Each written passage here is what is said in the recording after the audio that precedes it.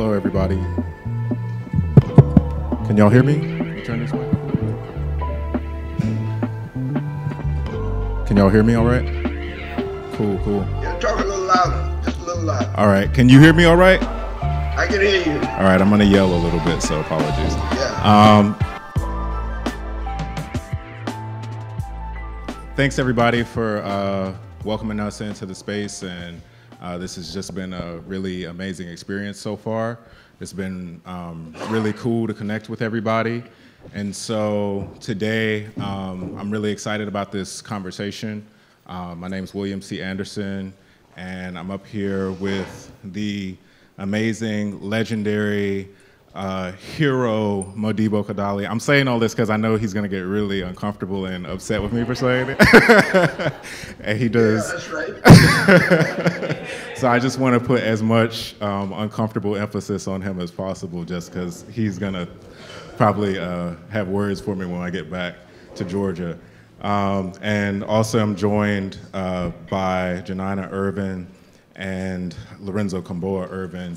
All of these people are um, phenomenal thinkers, uh, writers, uh, revolutionaries, uh, and elders who have had tremendous experiences that have um, brought us together to have this conversation about the legacies of black anarchism and the complexities and the dynamics that I think we all draw from uh, today to be able to have lessons and inspiration about where these politics can um, take us and um, uh, the different things that they can lend to our, our various movements. So I'm really excited to have this conversation. And if y'all do not mind, I'm going to be looking at my phone while we have this conversation because that's where the questions are at. I'm not on Instagram. I just want to make make make y'all aware that I'm not I'm not on social media. I'm just actually um, looking at questions. So, ooh, just want to. All right, cool. So, just want to get started, and um, I also want to say too that we we do want this to be a, uh, a open dialogue and for folks to really be engaged with the conversation. So, um, don't feel too rigid or too uh, disconnected from the conversation. We want everybody to be involved. So, you know, if you want to just kind of jump in or you know raise your hand or however whatever makes you feel comfortable as a as a way to kind of join in this join in this conversation at various points i think that um, that'll be okay and if it's if it's cool with with y'all and as well all right so to get started i want to ask the, the first question i had is um, the arrival or turn away from traditional statist and nationalist politics is symbolized by the embrace of black anarchism among the black power era and the civil rights era radicals who made that, who made that turn away. So can, can you all tell us, if you could start with Lorenzo, can you tell us um, more about what was going on at the time that led to such a turn and such a pivot away from those traditional statist, um, kind of top-down hierarchical, um, and more authoritarian understandings of politics that contributed to this wave of black anarchism and black autonomous uh, Well, politics.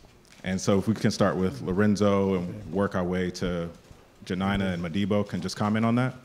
um, for me, um, that was a brief period. For a brief period, I was in the Student Nonviolent Coordinating Committee after I came out of the Army. And um I was also working with SNCC as I was coming out of the Army and opposed to the Vietnam War and all that. Um, was selling the Black Panther newspaper at one stage.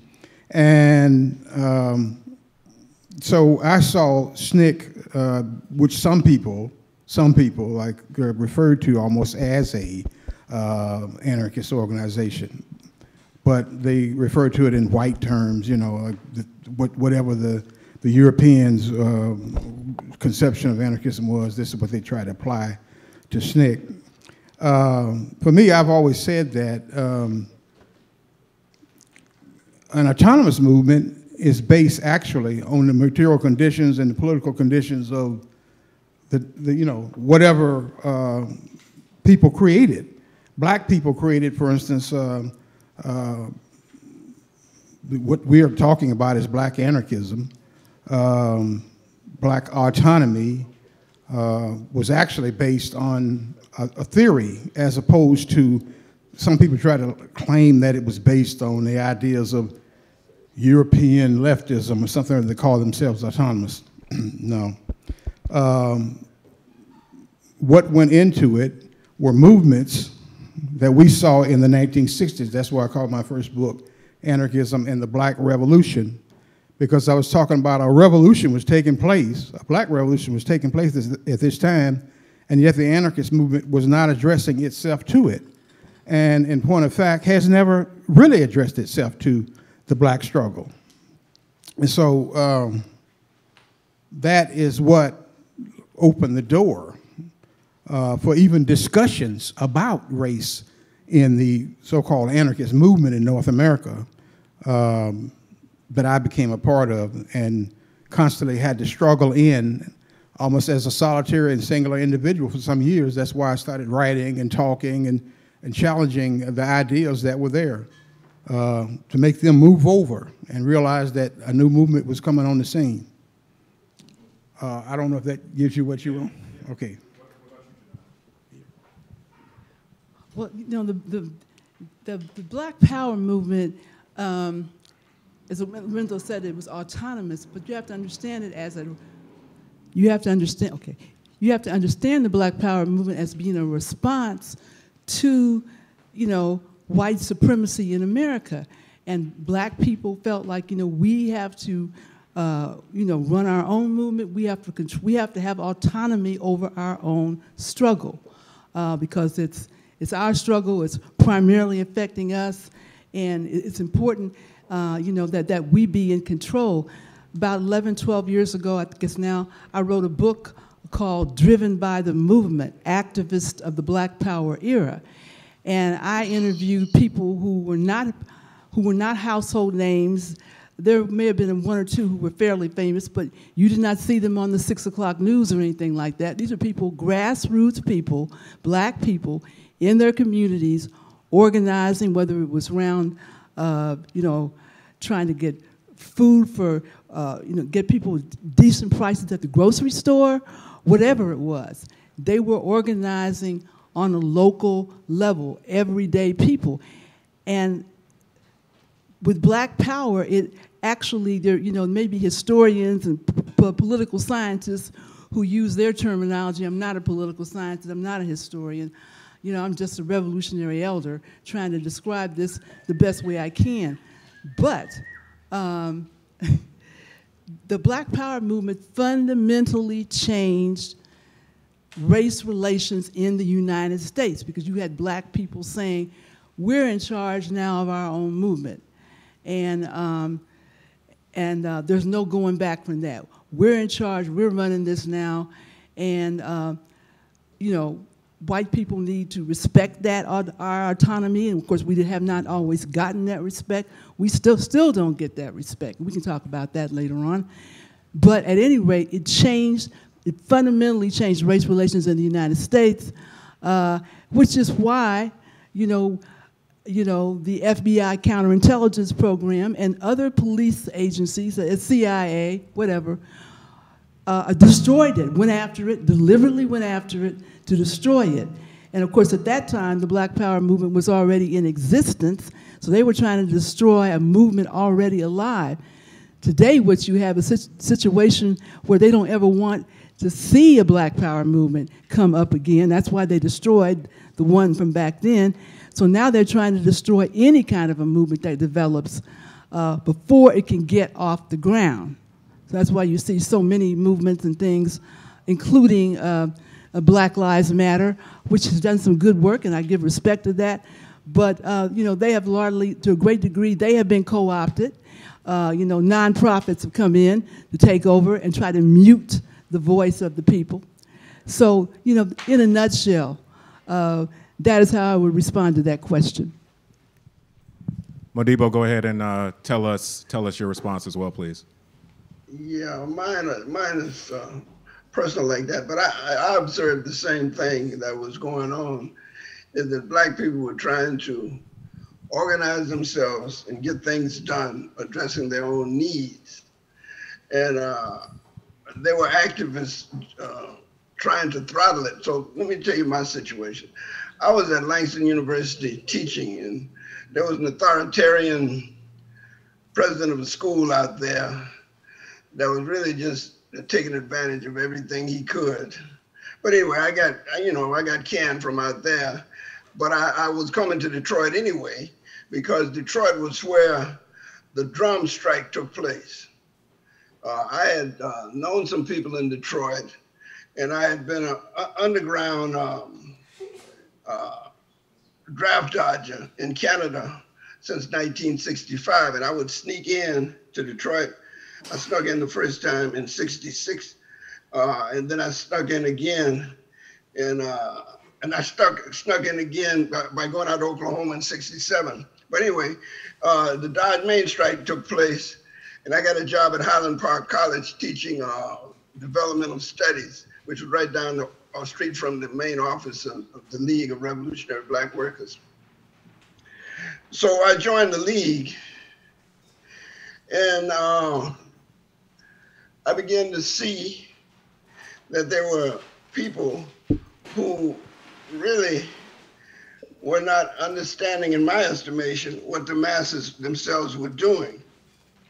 And uh, so I began to study organiz- radical organization. And during this particular time, there was a lot of fervor in Detroit.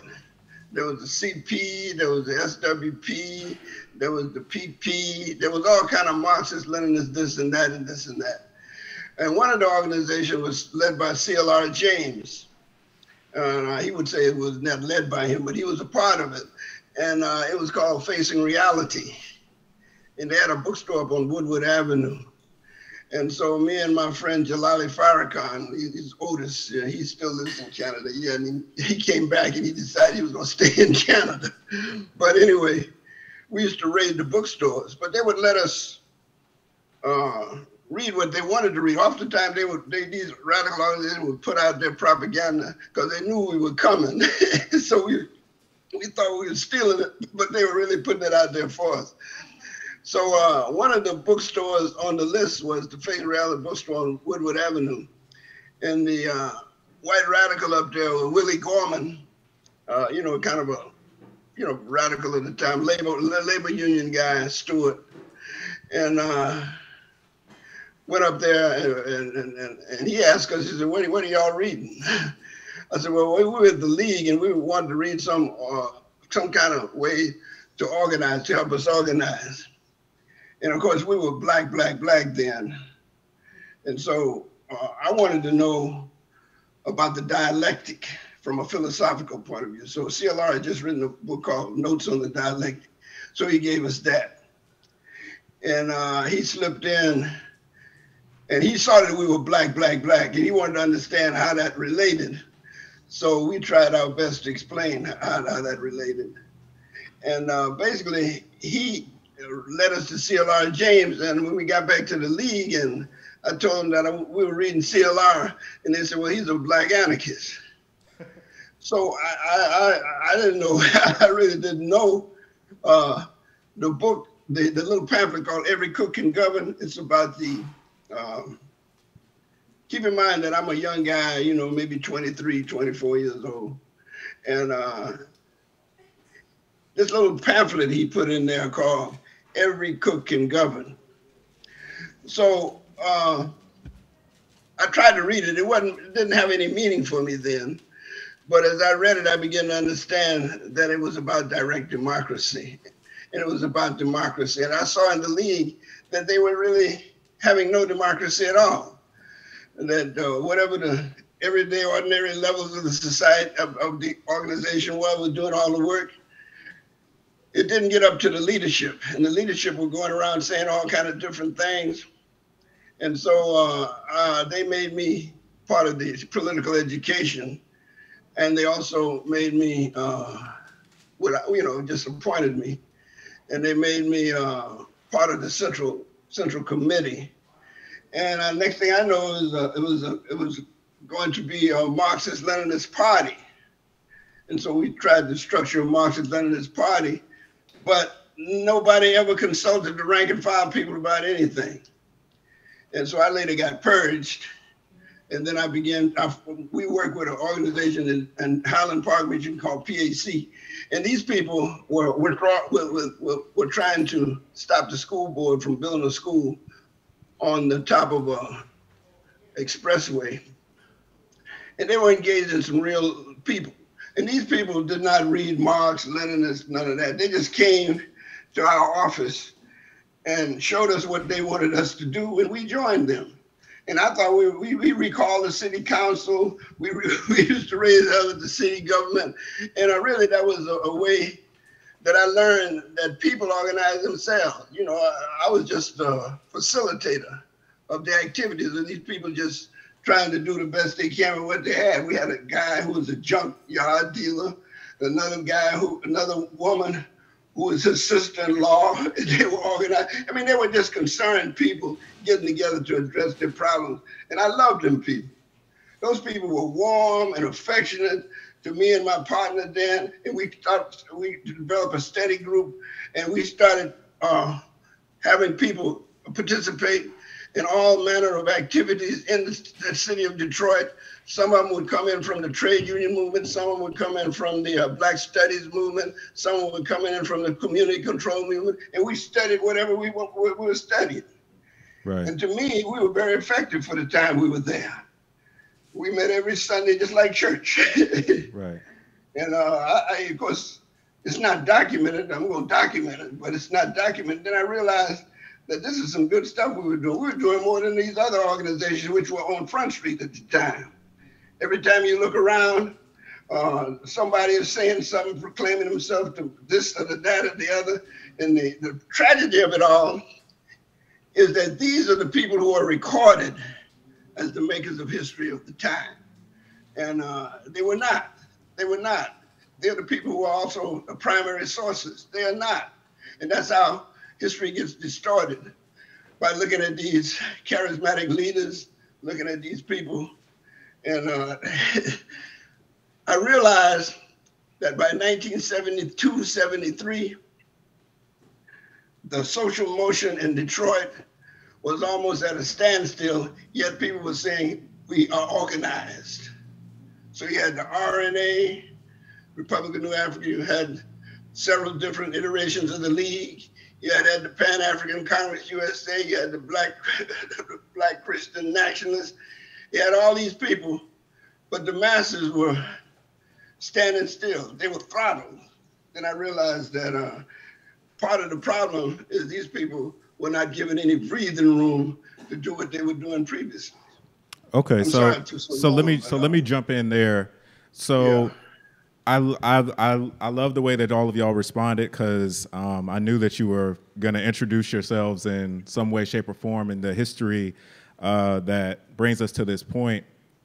And I think that the interesting thing uh, about about you is you had um, different experiences in different places in the country, but they thread together in a way that I, that I find is just uh, really amazing for this conversation.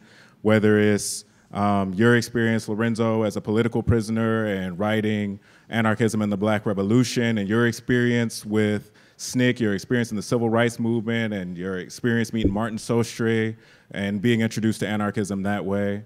And JoNina, your experiences within the party, your, your history in Detroit and in Oakland as the last editor of the Black Panther Party newspaper, um, and uh, the way your, your writing lends itself to this conversation. And Modibo, your experience with the League and with CLR, and you, you're talking about how um, anarchism was projected onto to CLR James. And so all of these, these different experiences that you had led you to a point where you started being critical of coercive hierarchy, of authoritarianism, of uh, top-down organizing, of vanguardism, um, charismatic leadership, these things that are still very much thriving in social movements today.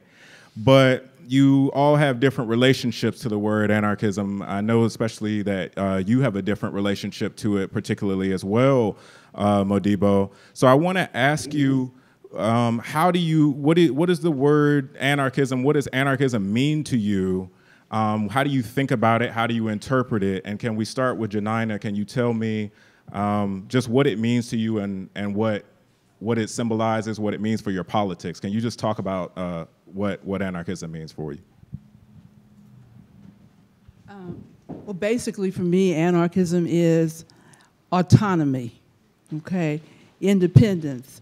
Uh, I'm not. I'm not a student of. Uh, I haven't studied anarchism like the brothers that I'm sitting here with, who've all read all the texts and they know the history and the, the theoretical.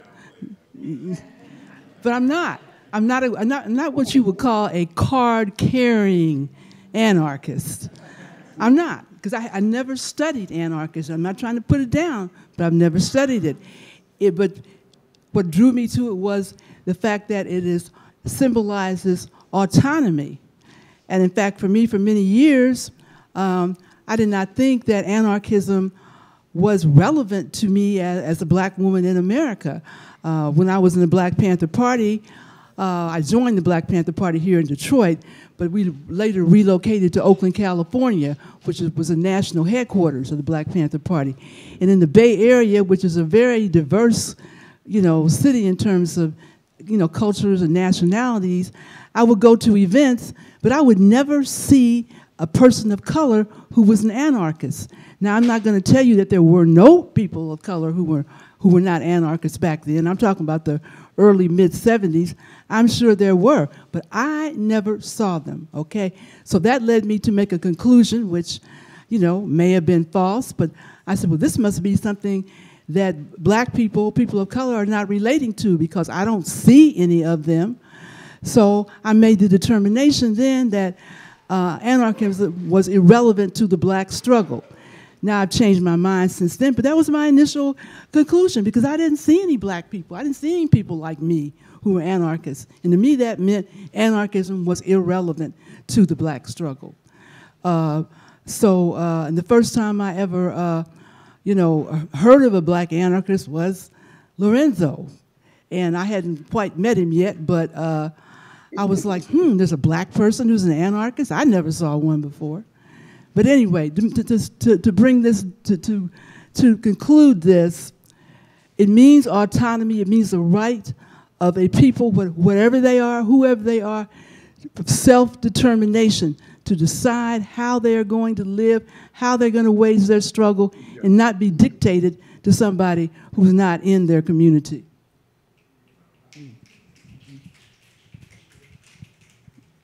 Uh, I became an anarchist uh, in prison, or on my way to prison. Uh, in September 1969, um, I was um, on the run from, from the federal government in Eastern Europe. I was in Eastern Europe. I had been to Cuba, and um, you know, I was uh, arrested eventually in, uh, in Eastern Europe and brought back to New York City and put into the federal house of detention. And there I met Martin Sostre. And Martin Sostre was probably the best known political prisoner in the world at that time. Um, I didn't know who he was, though. I had no knowledge of who he was. But uh, when I got into the prison, I was concerned that um, I was facing the death penalty uh, for hijacking a plane to Cuba. And so I wanted to talk to somebody. I couldn't talk to some lawyer or somebody. I didn't trust the government uh, lawyers that they were trying to give me. So um, I went to talk to this jailhouse lawyer, as they called them back in the day. And uh, so I met Martin Sostre. Well, Martin Sostre was a hell of a lot more than a jailhouse lawyer. He was a, uh, a revolutionary black anarchist.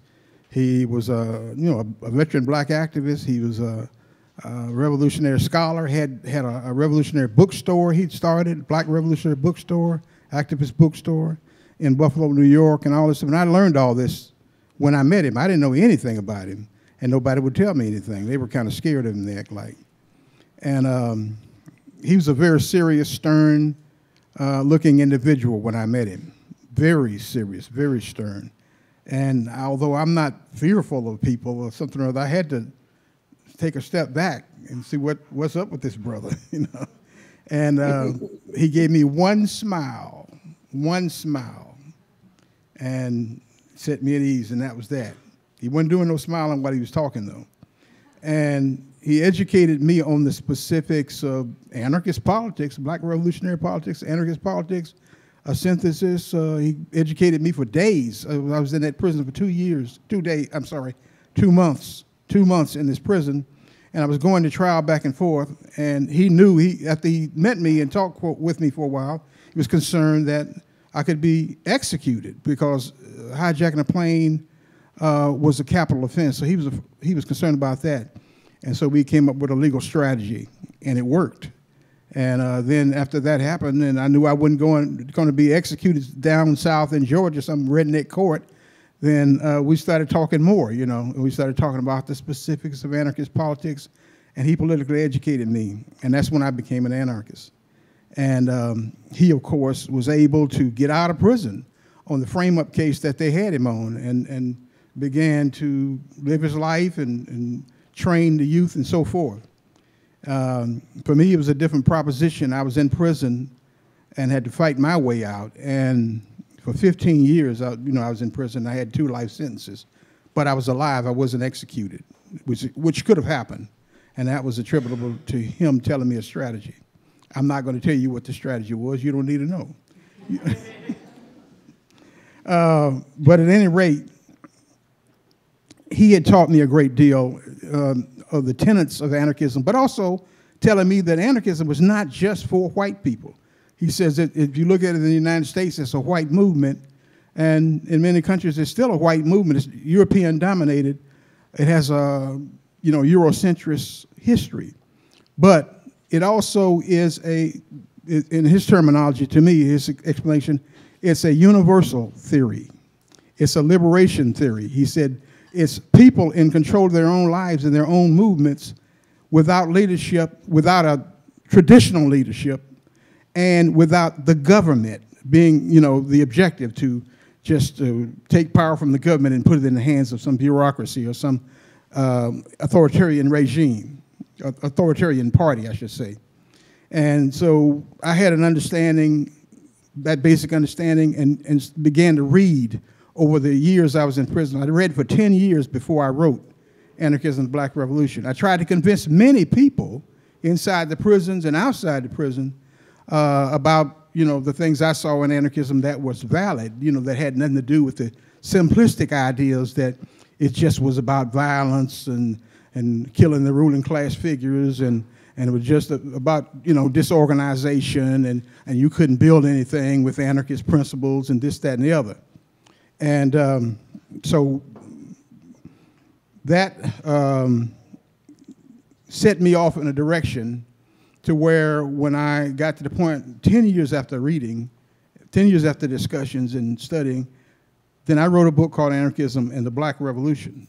And I wrote it from the standpoint that there was a revolution taking place in America. That's what I called it. And let me just say this.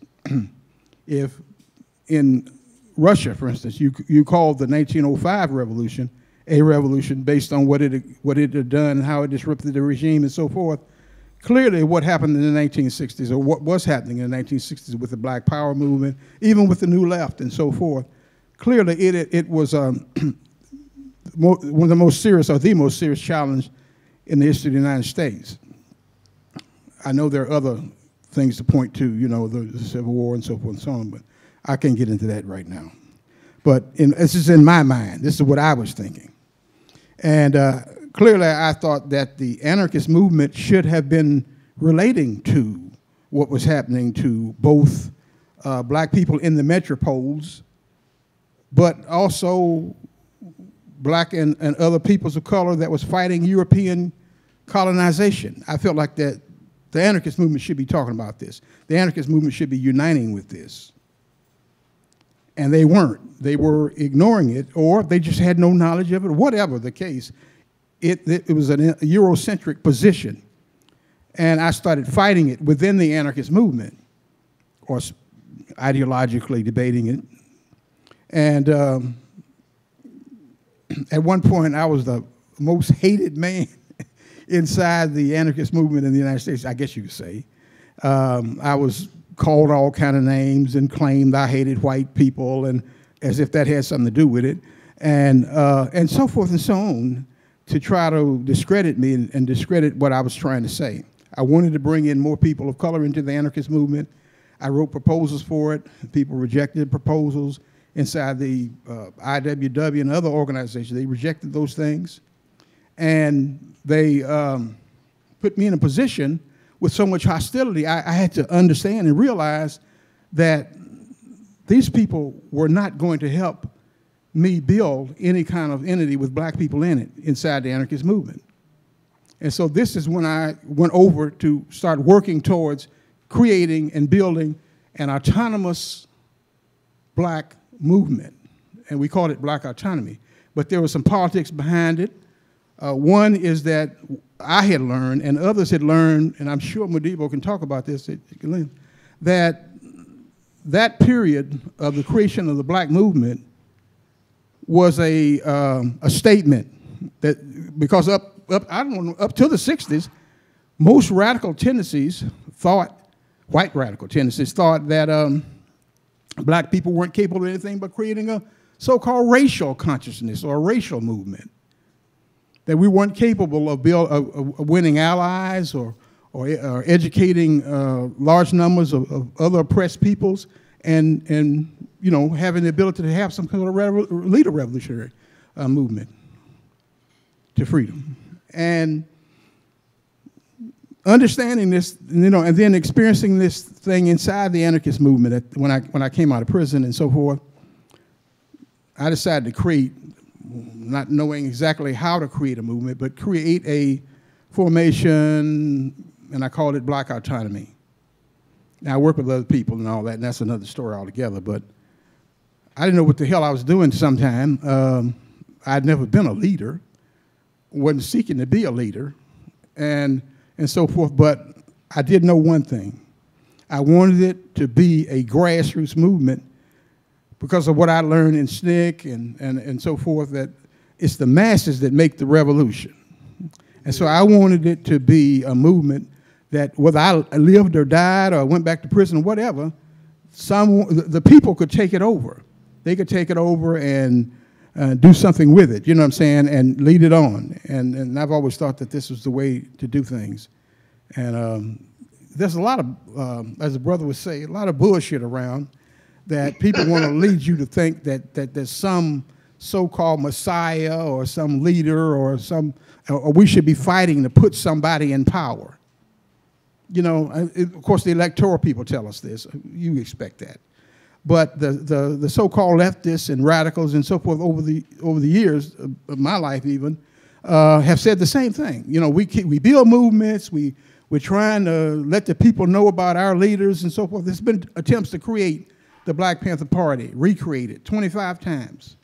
I, I shit you not, 25 times people have tried to create a Black Panther Party and failed dismally because they weren't trying to uh, do, feed people or, or, or, they weren't trying to you know, build a program the, for the masses. They were building a program just for their leaders to get photogenic attention or, or political attention, whatever. But the point is, um, I learned a, a grave lesson in terms of why we have the situation we do now. One, the racial divisions, why they exist.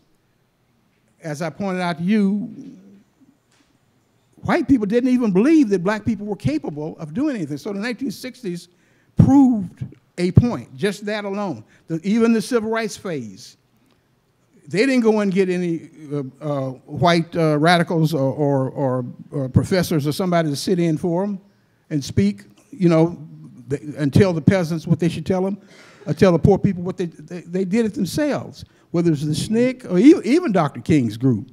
I mean, I remember a time Dr. King used to go down to, go into a new city and go into the um, uh, pool hall and talk to young people and stuff like that and win people over. You know, so he, the, the newspapers and all this never have given us any real understanding of what the Black Power movement was like.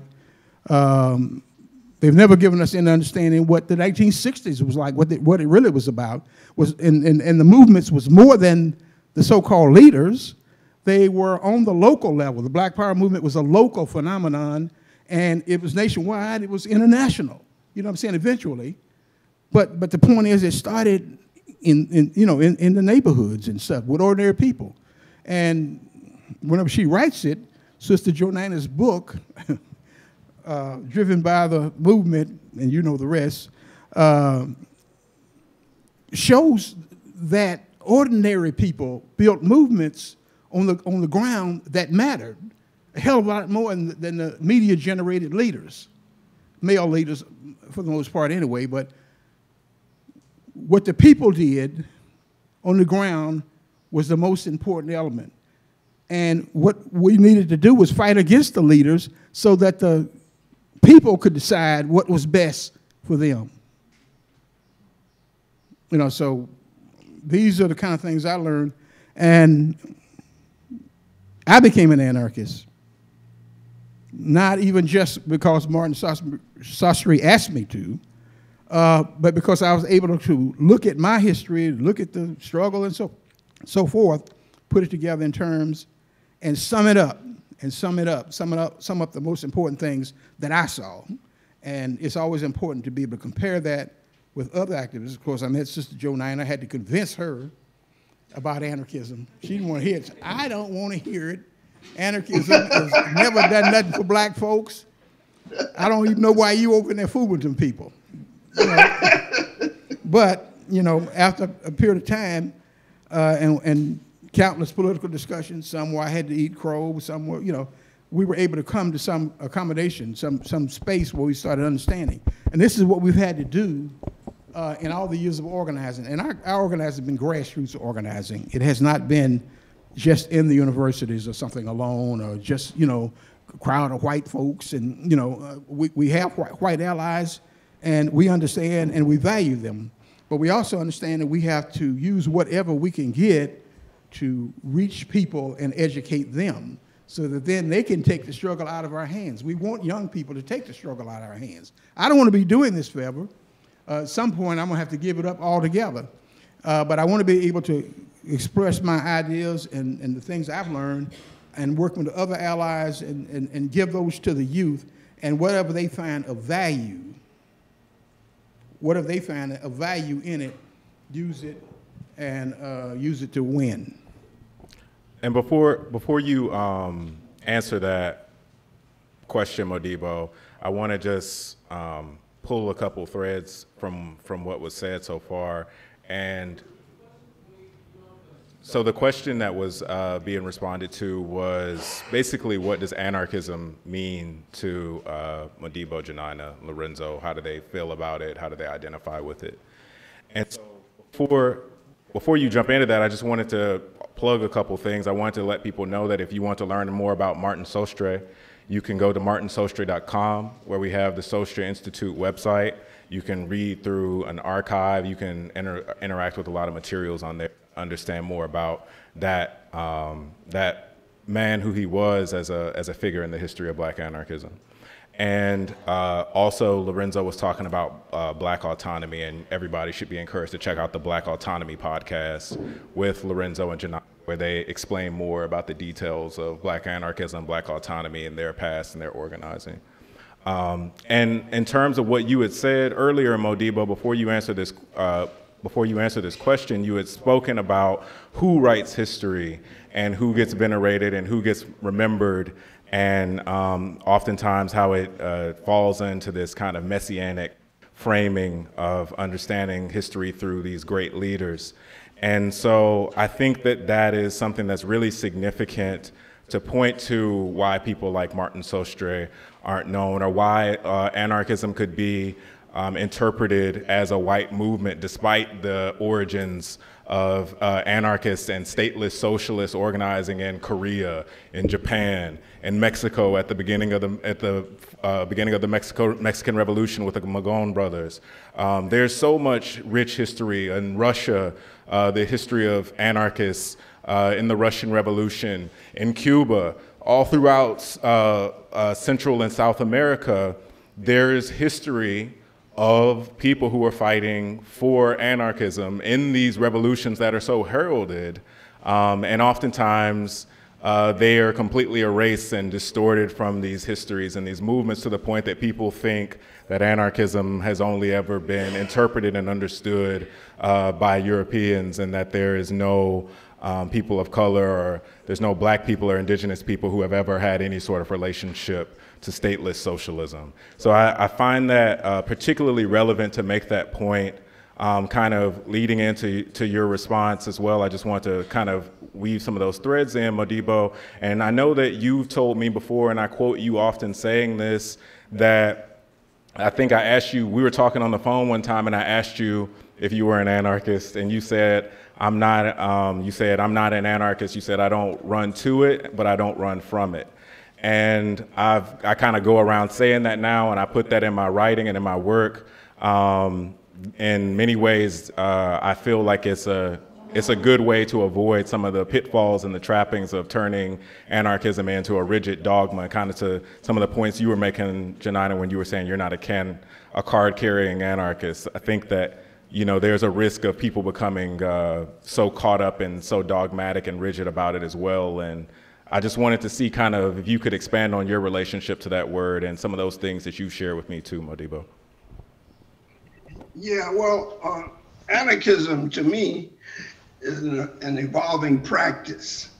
Uh, I, you should quote me, a quote, add this to the quote. I don't run to it, I don't run from it, but I practice it and uh, it's, it's a demo, it's a direct democratic practice. That's why it turns out to be a political praxis kind of thing, and it evolves, you know, and it changes.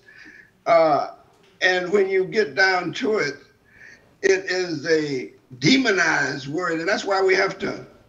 That's why I have to be careful in my own context.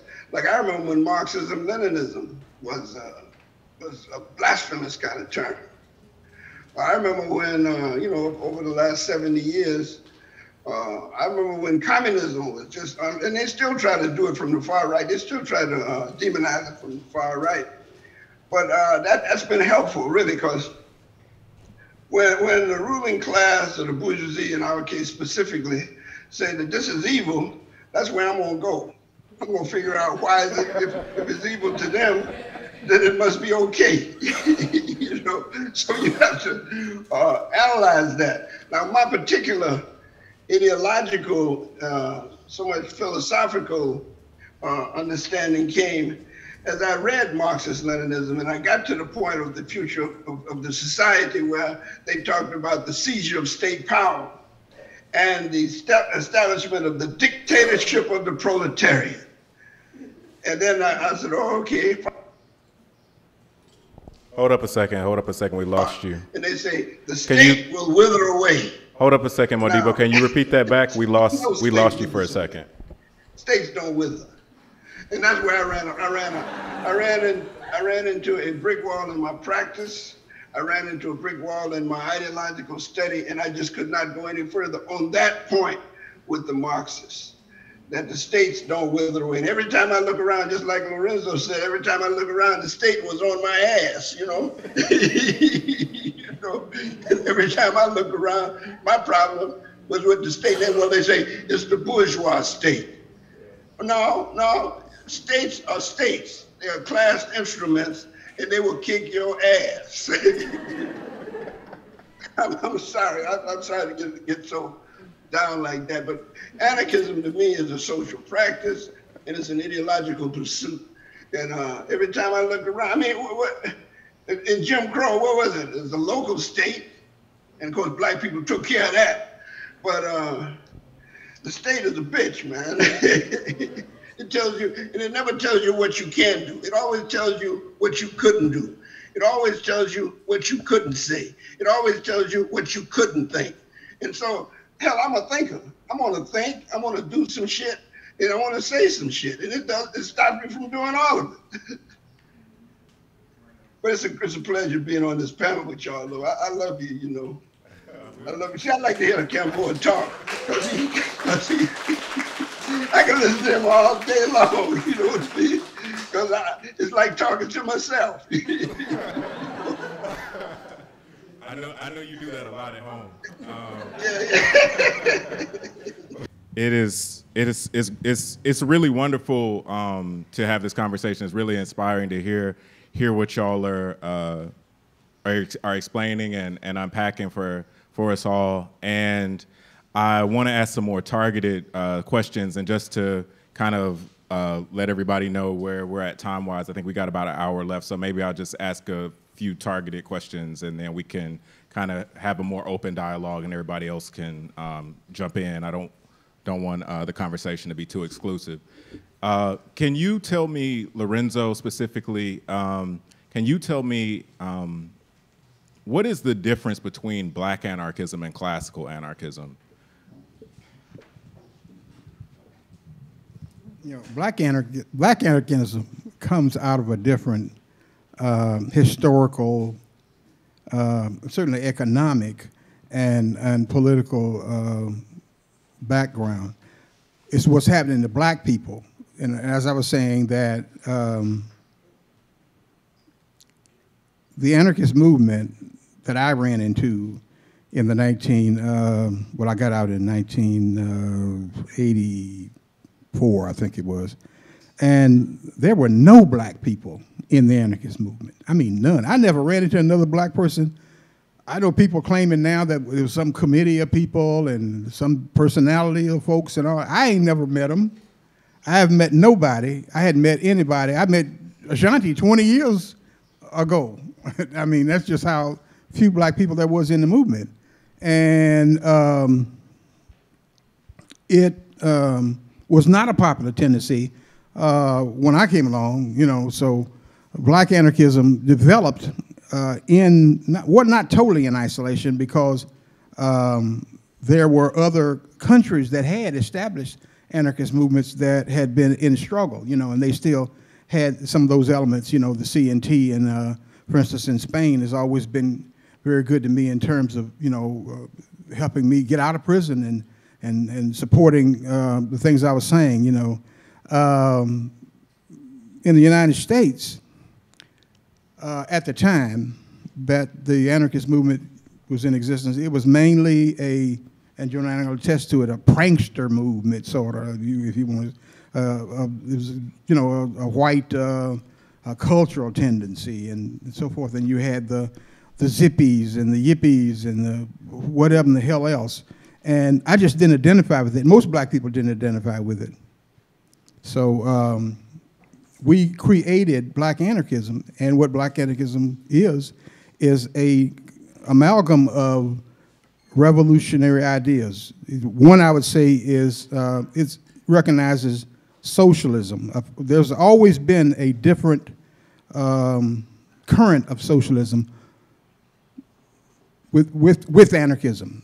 Um, there's always been a different um, conception about the state black people have always felt that the state uh, was what we should be fighting, not uh, fascist groups in the street. I've had that one thing has been a fight for years. Uh, so that was one of the things that led me to considering, look, I'm not going to be able to just be part of this. I'm not going to be a diverse person or whatever within the, this movement. We've got to build something independent. So we're talking about a, a, a grassroots movement, a, a, movement that recognizes grassroots struggles. When we created Black Autonomy, our thing was the fight against police terrorism, uh, the fight against poverty, uh, fight against what was happening in, in housing projects and so forth. That's how we, we position ourselves. And of course, I got tremendous grief for that from all kinds of groups, you know, nationalist organizations and, and other, uh, you know, radicals and so forth. All this stuff was ridiculous. It was was nothing but social work and so forth and so. On. But this is what the people were. The people were down, and I was one of them. I was on the bottom, you know. uh, almost homeless, nothing to eat, uh, didn't have, uh, you know, very many allies. But we organized something from the grassroots. You know, Modibo, when they were getting ready and trying to close down the uh, Capitol Hill, you remember Capitol Hill Homes in Atlanta? Capitol. Yeah, Capitol Homes, I'm sorry. We got involved in a struggle to prevent that. And we got in a struggle to prevent around the time of the, uh, the, the Olympics, right before the Olympics, they tried to jack the uh, price uh, of the tickets, you know, the transit, transit system, and have, have it go up to uh, 250 or something like that from a dollar, I think it was at the time. And we had a struggle against that and, uh, and beat that back for years. And so, and it was started in Atlanta. We started Black Autonomy in Atlanta. And a lot of the things that, you know, we did, uh, we didn't have any um, media coverage or we didn't have any, any, you know, a bunch of allies jumping Russian to, to help us do it because most of them thought electoral politics was the way forward. You know, they thought that, that was what, we, what you did. And we were trying to create on a grassroots level a mass movement. What's that? A mass Juice, how movement you doing? That could, uh, Good. what? Oh. Got for you. Okay. All right, well, anyway, we created a grassroots movement. Uh, and, and, and so black anarchism was more, to us, and it's, there's different conceptions now, but it wasn't a nationalist, it wasn't inspired by nationalism uh, or, or, or some kind of, you know, uh, narrow uh, perspective, as we were always accused. It was, in fact, um, based on the, the radical elements within, uh, within uh, black history, like, like SNCC and like, like other movements that were based in the grassroots struggles in the civil rights period and so forth. And so it was a continuation of that. It was new ideas. It was ideas from anarchist politics, from anarchist theory. Some people now claim that if you were an anarchist or called yourself an anarchist somehow, and you're black, somehow you were selling out to a white idea. But as you point out, there have always been peoples of color in the movement or inspiring the movement or writing about it, even people that don't call themselves anarchists. Well, I do call myself an anarchist, but I'm saying that people who don't and didn't back in the day, they still made a tremendous contribution. And it's really important to understand that. JoNina, I want to ask you a, a, a, a bit of a two pronged question. I want to ask um, if we can uh, really bring gender into the discussion, and I want to ask you how do you how do you relate uh, to anarchism and the thinking from the experiences uh, that you had as a woman in the Black Power movement and in the party? Um, what what it, can you speak to some of your experiences around gender, and can you also maybe offer some some guidance for the younger generation in terms of some of the pitfalls that we can, can that we can avoid um, if we are to think about maybe some of the principles of anarchism to avoid getting caught up in some of the pitfalls that you saw within the Black Power movement. So, can you speak to that gender point, and then to avoiding some of the pitfalls of uh, the sort of hierarchical top-down organizing that you saw up close and personal in the party? Okay, well, if we had, is that better? Yeah, if we had six or seven hours, I could really answer that, but I'll do, I'll do my best, you know, in a few minutes. Um, you know, the whole thing about gender, one of the, when the, when the Black Power movement was really, uh, you know, developing in the country, of course, you had a lot of stuff happening in America, and the women's, uh, and I, you know, the, the white women's liberation movement was developing. And I say that because the women's liberation movement that first kind of came to the fore in this country uh, did not address the issues that black women had. This is, this is a case of where, again, black women had to have autonomy.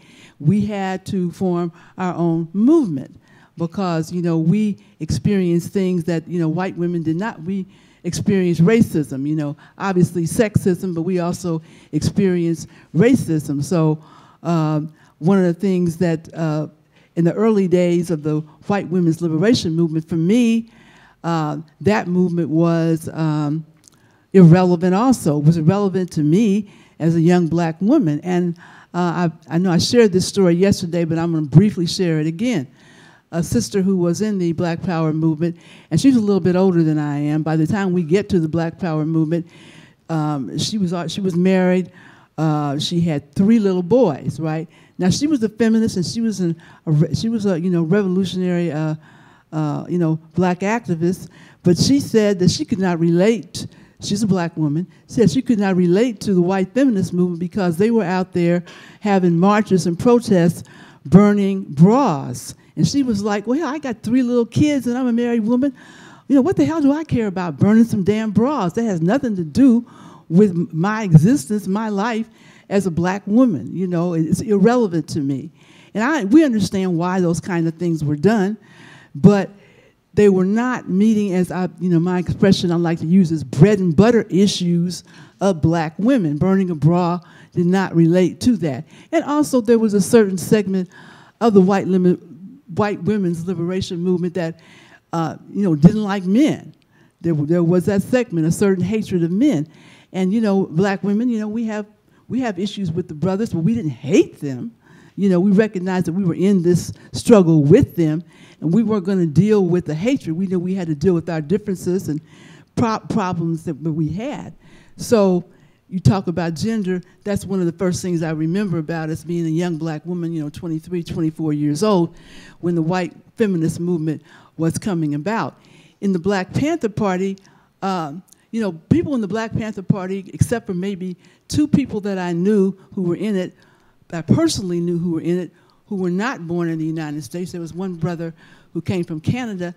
Uh, we came from the United States of America. We were born here. This is a, a, a white supremacist patriarchal society. This is what we grew up in. You know, we did not, so we brought all that stuff with us into the Black Panther Party. We did not, uh, we were not revolutionaries when we joined, is it off? Covering it up. Okay we, did, we were not revolutionaries when we joined the Black Panther Party. We came into Black Panther Party as black people raised in the United States of America. And we brought all the issues that this, you know, white supremacist patriarchal society has with us, okay? So um, there is, uh, you know, we, we dealt with sexism and patriarchy in the Black Panther Party. Yes, we did. We weren't any different than any other organization. You know, there are some people who a, a lot of people on, on, the left, it seems like right now, want to talk about the degree which women in the Black Panther Party were oppressed. Well, yes, you know, we dealt with patriarchy, but this did not happen in every single chapter of the Black Panther Party. We had different chapters in different cities and branches. So it depended on what city you were in, okay? So it did not deal, it was not present in every city and in every chapter, but we dealt with it because we were in the United States of America, and that's what kind of society this is, right? So don't, don't look upon us, don't fault us as being uh, so bad because we had patriarchy, patriarchy in the Black Panther Party. That, that shit came with, came with us in, into the party, okay? So that's one thing uh, to remember, and we had to struggle with it. Um, however, the other thing to remember about, the, to know about the Black Panther Party, the Black Panther Party lasted as long as it did because of the sisters. Because, that's right, you can go ahead. because of the sisters. Many of the brothers got locked up, arrested, had to go underground. But it was the women, and you can read about this. Uh, uh, Sister Angela Davis, who's an historian of the Black Panther Party, she, I first met her in the early 80s. She did her, I think it was her master's thesis on uh, dealing with uh, uh, women in the Black Panther Party and all the work that they did in terms of the programs. It was women in the Black Panther Party when we um, did get, uh, we had a period in which we were involved in electoral politics, and that's another discussion. But when that did happen, uh, it was women who organized the work in terms of, you know, getting the vote out, to getting the corrupt mayor that we helped get elected, but we had a reason to get him elected. We were trying to bring Huey Newton back from Cuba. So, you know, he used us, but we used him too, because we were trying to, you know, get, get Huey back. But it was women who organized, you know, the electoral campaigns. It was, it was women who ran the, the chapters and the branches of the Black Panther Party when the brothers got locked up, okay, or had to go underground. I mentioned this before, and excuse me for repeating it, but here in Detroit, uh, I wound up driving in the Black Panther Party busing the prisons program. We didn't actually have buses, we used cars, but I wound up driving in that program because most of the brothers who were in the party at that time had lost their driver's license or they were on parole or they were underground, whatever. The, the brothers just didn't have driver's licenses. We had to get on the highway to drive to the prisons. So, so one thing to, to, to know is that the women kept the Black Panther Party going as long as it did. So I don't want people to think that there was so much repression of women or oppression of women. It wasn't any more than it was in any other left organization that was going on. The Student Nonviolent Coordinating Committee that Lorenzo belonged to, they had problems with the patriarchy, and they had to have, they even had to call the whole meeting to deal with it, you know. But just know that, the, that women in the Black Panther Party, we kept it going, okay? We kept it going. It would not have lasted from 1966 until the spring of 1981 if it had not been for women. So never forget that. Whatever other stuff you may read, please remember that, okay? It was, a, it was the sisters. It was the sisters.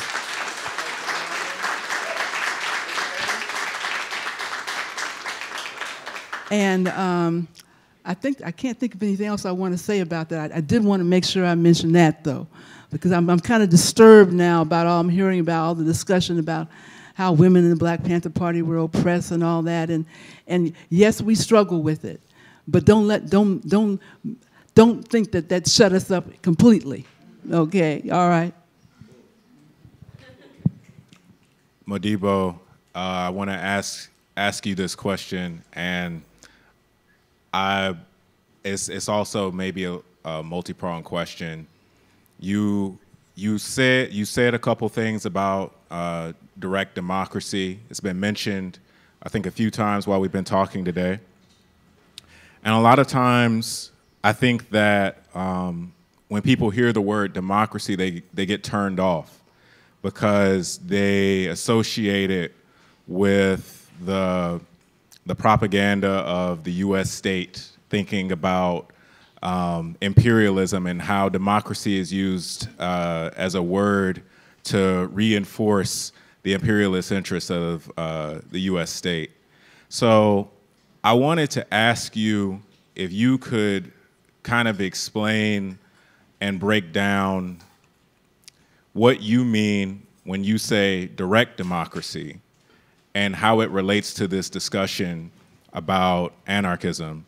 And I'm going to also ask you to, I know that that's a very long, long answer. I'm going to ask you to keep it concise and don't get mad at me if I cut you off. No, no, no. I'm going to be very concise. American democracy is indirect democracy, it's Republican democracy. It's a system whereby people uh, are allowed to vote for candidates who've already been chosen and anointed by the ruling class. And so you have this minority rule. And so we have to debunk this democracy, American democracy, Republican democracy. When I say Republican, I mean a republic is a type of capitalist state that is um, politically organized in such a way that a legislative body has great control or, or makes laws and determine what goes on.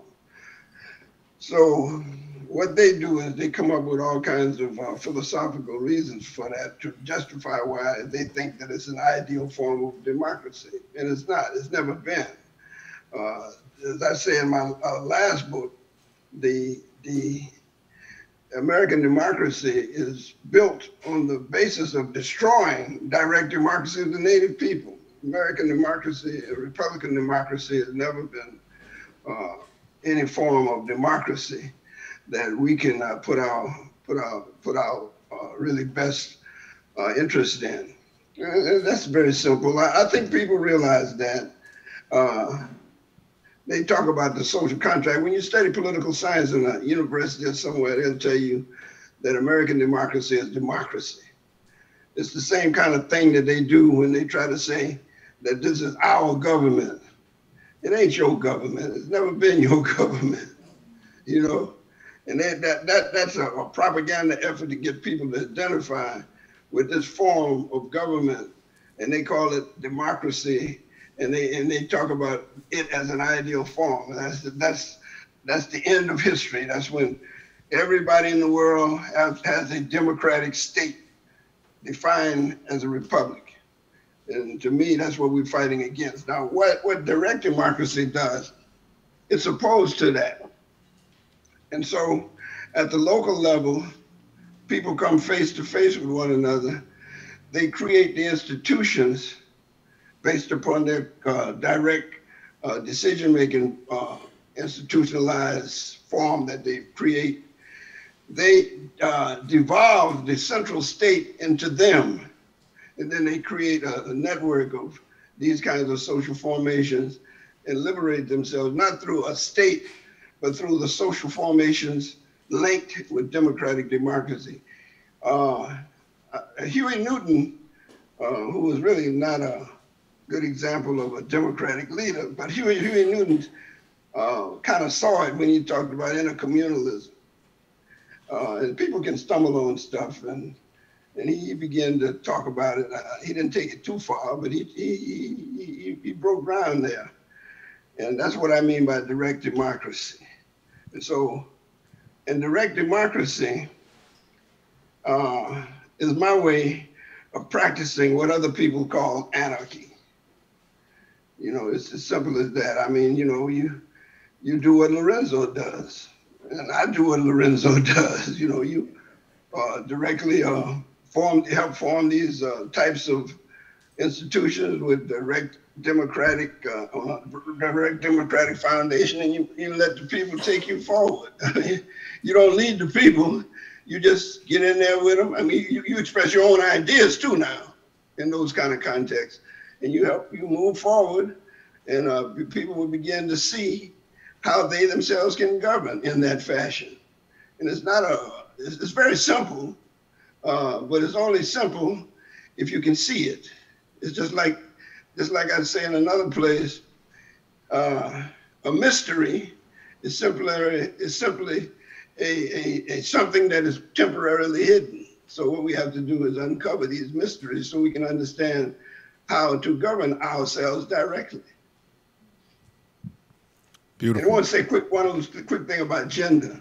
It. Anytime you have a hierarchical organization, you're gonna have racism, you're gonna have gender, and you have big problems of uh, people thinking they're better than other people, people thinking they know more than other people. So you have to be aware of all of that. I mean, but it's a, the artifact of it is, is the basis of it is hierarchy, which is held into place by a state, be it, be it national or local or intermediate. It's held together by a state.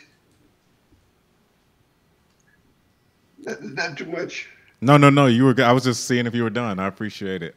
I'm done. I'm done. thank you, thank you. So, I think that um, everything that y'all are saying has probably offered a lot of uh, things to the whole room.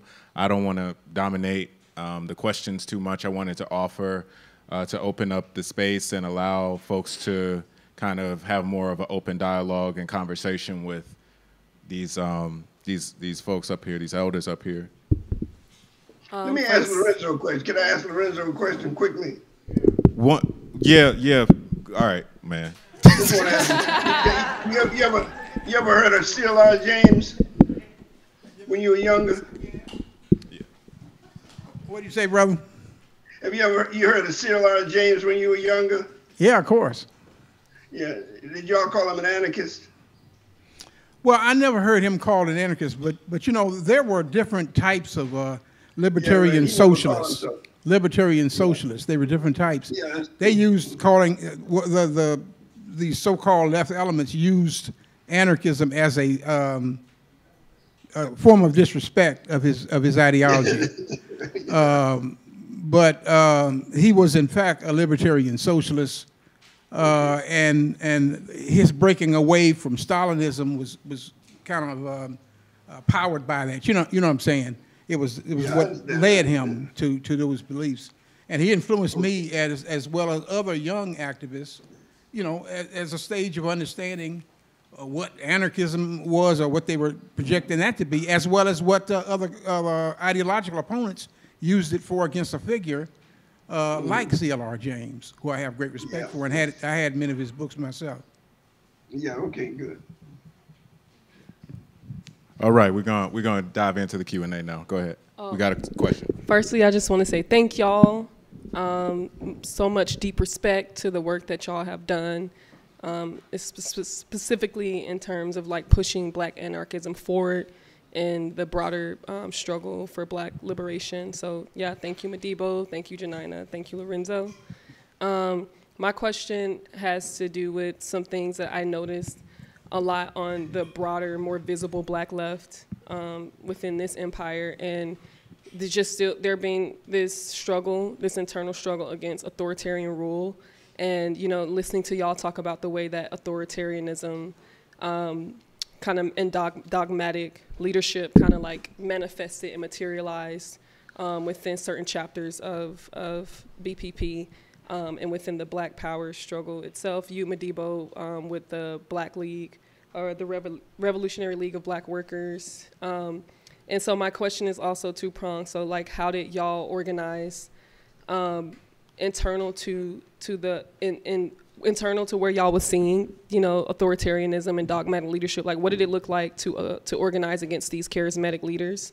Um, and um, if, if there was like any confrontation, like what was what did that confrontation look like? Um, and uh, my second question has to do with just the way that again I see like um, I feel like back in the day, like the the formations that were organized during the Black Power movement look very different, obviously, from how um, you know formations are organizing. And I think that the nonprofit industrial complex, with it on the rise, like has created a different way of uh, a different form of Black leadership that has that also too has a very authoritarianistic tendencies um, especially for more petite bourgeois black leaders who kind of like parachute into communities that are already self-organized and because they have the resources so they're getting like foundation funding and they're coming into these communities and they're like we have the answer. It's state communism and state socialism.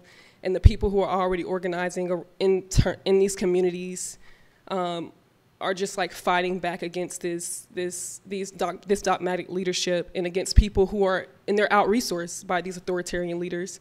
And I understand that may have looked a bit different back in the day because again now with like the rise of foundation funding more of these authoritarian leaders have the resources to to kind of like you know materialize their own desires and aren't really listening to people on the ground Um, you know, in terms of, of the Black Panther Party, uh, you know, the Black Panther Party, uh, in at least in, in Oakland, California, uh, and, and sort of the model it adopted, uh, was an authoritarian organization. It did great things. It did wonderful things. I love the party, but it was authoritar- authoritarian in its structure because it, it thought at that time, you know, you had the the, our models were the Mao, Mao and the Chinese Revolution and the, you know, and the, uh, you know, uh, in, in the Soviet Union, the model they had there. Uh, you know, we didn't know all this stuff about Stalinism that came out later on. So those were our models, okay? So, uh, and those were authoritarian models. So uh, we were, we were, we had a central committee in the Black Panther Party, which, you know, would give directives and, you know, you're, or you had a coordinator in your area of work and you were told what to do and you were supposed to, to follow the directive. And we, because we were told that we were at war with the United States government and that we had, that we were given a directive, we had to be just like we were on the battlefield, you know, with a gun on, in, our, in our arms fighting. We had to follow those directives. So uh, because of all those types of influences, um, uh, we were structured as an authoritarian uh, organization, at least the, the central leadership. Now, I I'm not going to speak for every chapter and branch of the Black Panther Party in the United States because it's wrong to say that they were all the same and all did everything the same way. But I'm going to tell you what, you know, I experienced most of my time was in Oakland, California, at the central headquarters. Okay, so that was a serious problem for us, authoritarian structure. And um, in terms of, you know, you ask about what do we do to organize or fight against it. Well, I'm sorry to say that in Oakland, at least, I can't speak for any place else in Oakland, we did not organize to fight the authoritarian structure. We did not fight it. Uh, uh, you know, we, most of us were afraid to do that. Uh, we thought we would be betraying the struggle because we would be going against our, the leaders who were leading us on, the battlefield. I mean, we literally believed we were on the battlefield against the United States government, and we felt that it would be, you know, uh, a betrayal for us to organize ag against the leadership. Now, you know, in hindsight, you know, that was wrong. If we if we had organized against, uh, you know, that hierarchical structure, the Black Panther Party might have might have actually been able to transform into something else at a later point uh, that might have been even bigger than what we had. So I'm sorry that we did not. Uh, you know, I can't blame us because, well, I can. I understand it, but I am sorry that we did not. So, what I, my lesson from that is, is that if you are find yourself in a hierarchical organization now, um, to, you know, nip that in the bud as quickly as you can. If you see that coming into your organization, uh, people uh, you know, the rank and file, you know, I was a rank and file member of the Black Panther Party. Rank and file people who are, because uh, we use those terms just like the communist parties did in Russia and in China. We, we were trying to be like them. So the rank and file membership, you have to speak out and organize against that promptly and, and to keep it from developing because authoritarianism will destroy your organization. And that certainly was not the only thing that led to the destruction of the Black Panther Party. We can't discount the role of the FBI counterintelligence program and other programs, but it played a significant role in the ultimate, you know, uh, you know, demise of the Black Panther Party. Speak out. Do not let authoritarianism develop in your organizations. If you don't nip it in the bud right away, you will cease to exist.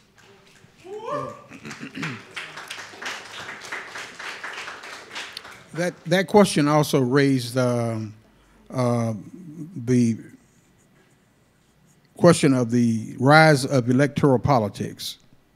And um, electoral politics was part of the, uh, really, I've always said, and you can believe it or not, it was up to you, but I've always said it was part of, in fact, the counterinsurgency um, it changed the direction of a uh, what was then a revolutionary mass movement in the 1960s towards uh, co cooperating with the state, leading us to they even use entrepreneurialism, uh, black capitalism from the Nixon administration uh, to destroy the, the, the radical wing of black power and. Um, and including the Black Panther Party, but it was another set of tactics they used on the Black Panther Party.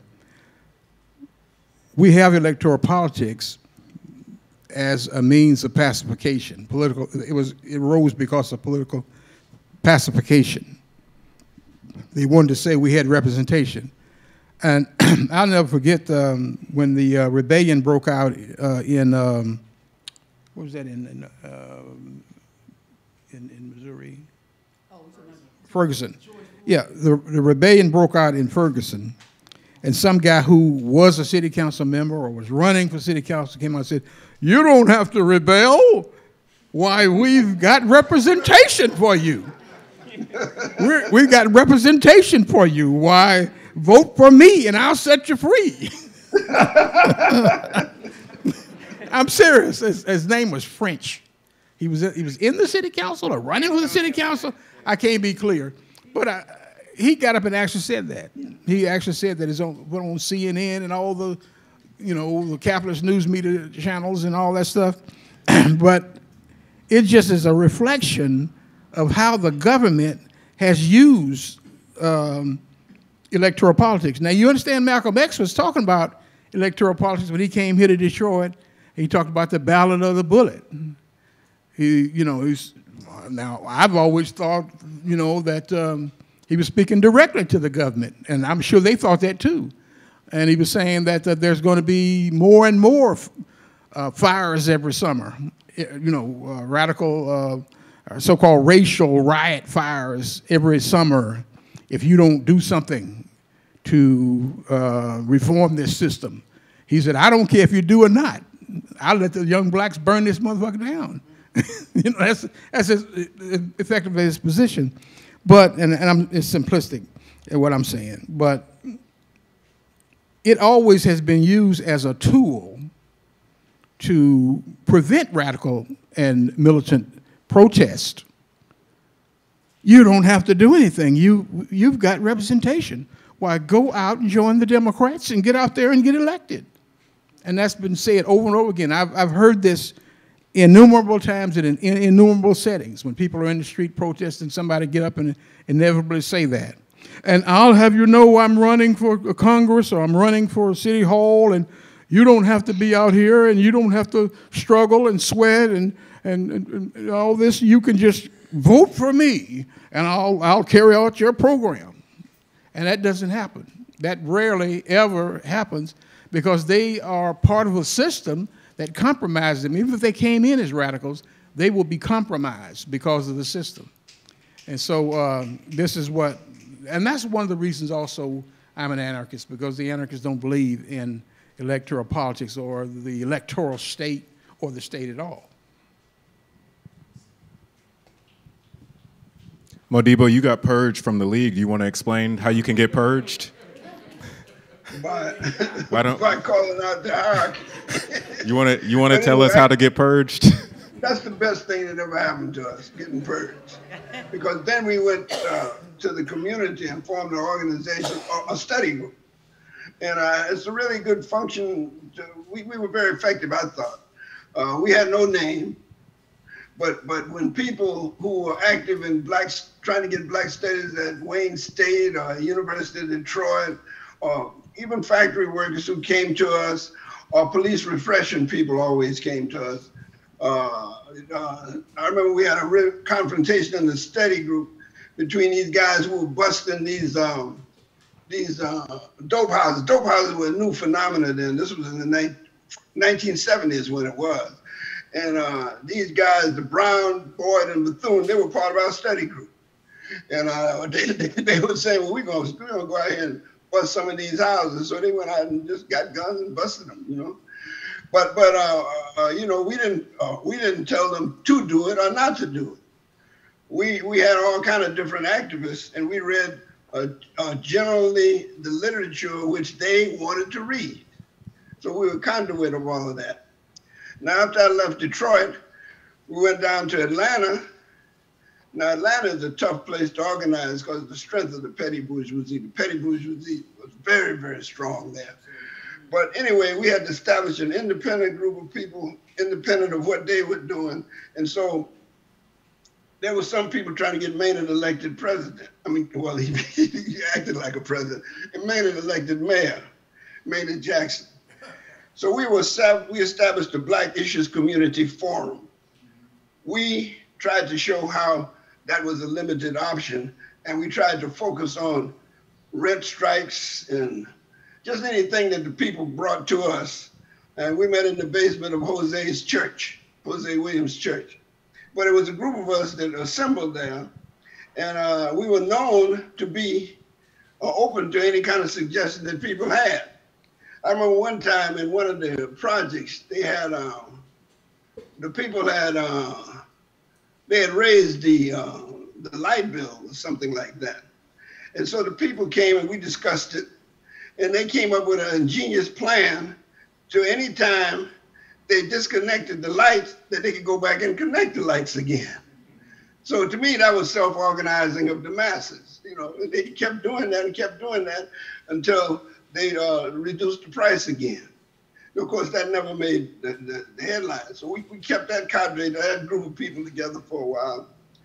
And uh, then they brought all kind of issues to us. That's how we got involved in the Bat Patrol. That's how we got involved in the support of the uh, garbage workers strike. And that's how we got involved in the uh, desegregation at the University System of Georgia. The people brought that to us. And we were studying and discussing and we were just a study group. That's all, and uh, it works. It works. As a matter of fact, this is this is what we're doing here now. As a matter of fact, you know, trying to review what practices and what options and what's good and what's bad, what we did right, what we did wrong, what are the possibilities, what are not, what what are not an option. But we aren't telling anybody what to do. Yeah. Open a bookstore like Shastri did. He did more good than the Communist Party in Chicago, even though he was in Buffalo. So the point, the point I'm getting at is, that's my style of work, to get people to know. Now, this is what I'm writing now. I'm writing a history of direct demo- democracy from the time of the first big empires and show that direct democracy has been a part of human society for the last 20,000 years. So that people won't think this is some alien bullshit, that it's part of being human. It's a part of loving your neighbor, really. It's a part of loving and loving your people. That's all it is. You know, so you write those things and you discuss those things with people. You come on forums like this and you share wisdom and try to get some understanding. And, and, and then we, and, and it just never democrat, never denigrate anybody's attempt to try to learn something about the social movement of human beings on the planet here. Yeah. And uh, you know, it makes a difference. You, you, sometimes you see it, sometimes you don't. You know. Okay. Thank you. Um, we got one person I know who was in queue on uh, on Zoom, and we got a, got some people in line. So Abe, can you unmute and ask your question? And then maybe we can get this next question, and then we can just throw them all in the mix. Abe, if you want to unmute and ask. Okay, sure. Thanks. Well, the first part, uh, maybe mostly for Lorenzo here. I was wondering, can you speak to the concept of the black commune? Do you see that um, egalitarian income sharing communes are a useful tool for creating your vision for the ultimate goal of the black commune you envision? And then the second part would be um, people speaking to the um, Black Panther Party's um, experiments with communalism. I believe there might have been a commune in Oakland. So yeah, that's that's the question. Okay. And if we can get an, another question at the mic too, I just want to have it kind of all all in the mix at once, so we can just have y'all speak freely. You have? Did you have a question? Sure, yeah. So, Okay. Hi. First, thank you. Um, I really appreciate um, everybody's time. My question, um, especially, so when we're talking about like statelessness and like that, I kind of like inherent category as a black person. Um, I come from a right lineage where my mom's Jamaican, my dad's a man from the black South in America. And one of the things that I often hear silences around in the discussion about like black power movements in the United States um, is that diasporic connection. And like, you know, we're often talking about like the Russians or the Spanish or the this or the that, but we very often like don't very frequently reference like black, like free movements in other diasporic contexts and like how that informs movement work. Um, and I, I think we do it to a detriment, especially like I kind of look around right now and see like in the rise of like a certain kind of black nationalism that takes on the language of white supremacy and becomes real dangerous. Um, and I think at odds with our freedom. And so I'm just kind of wondering, in terms of your perspective, like having done this work historically and like knowing even that a lot of the characters in the original like black power movements were coming from diasporic contexts, like what's the, what do you think the reasonings for behind some of that silencing is? And then how do we move beyond some of those in modern contexts so that we're not seeing, you know, it's not the same thing where we're looking at like immigrants to this country who are also from suppressed, co- colonized, like settled nations, and as black people looking at them as our enemies rather than white supremacy. so Lo- Lorenzo, do you want to answer that first question with regard to speaking to the black commune, and uh, then maybe we can have y'all just kind of generally respond to the next question about the the diaspora connections and so on.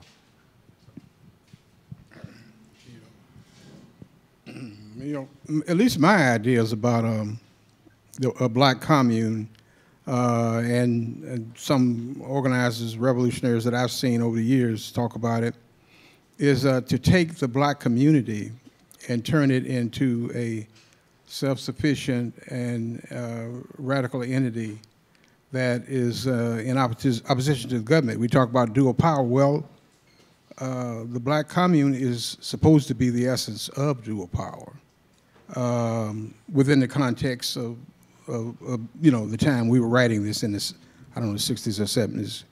And um, so it's not a, some sort of mystifying thing. You know, it's about giving power and building institutions in the community that uh, can challenge the um, existing government framework, whether it's the city government or the state government or whatever. And let me just say it like this now, give you a, a, concrete example.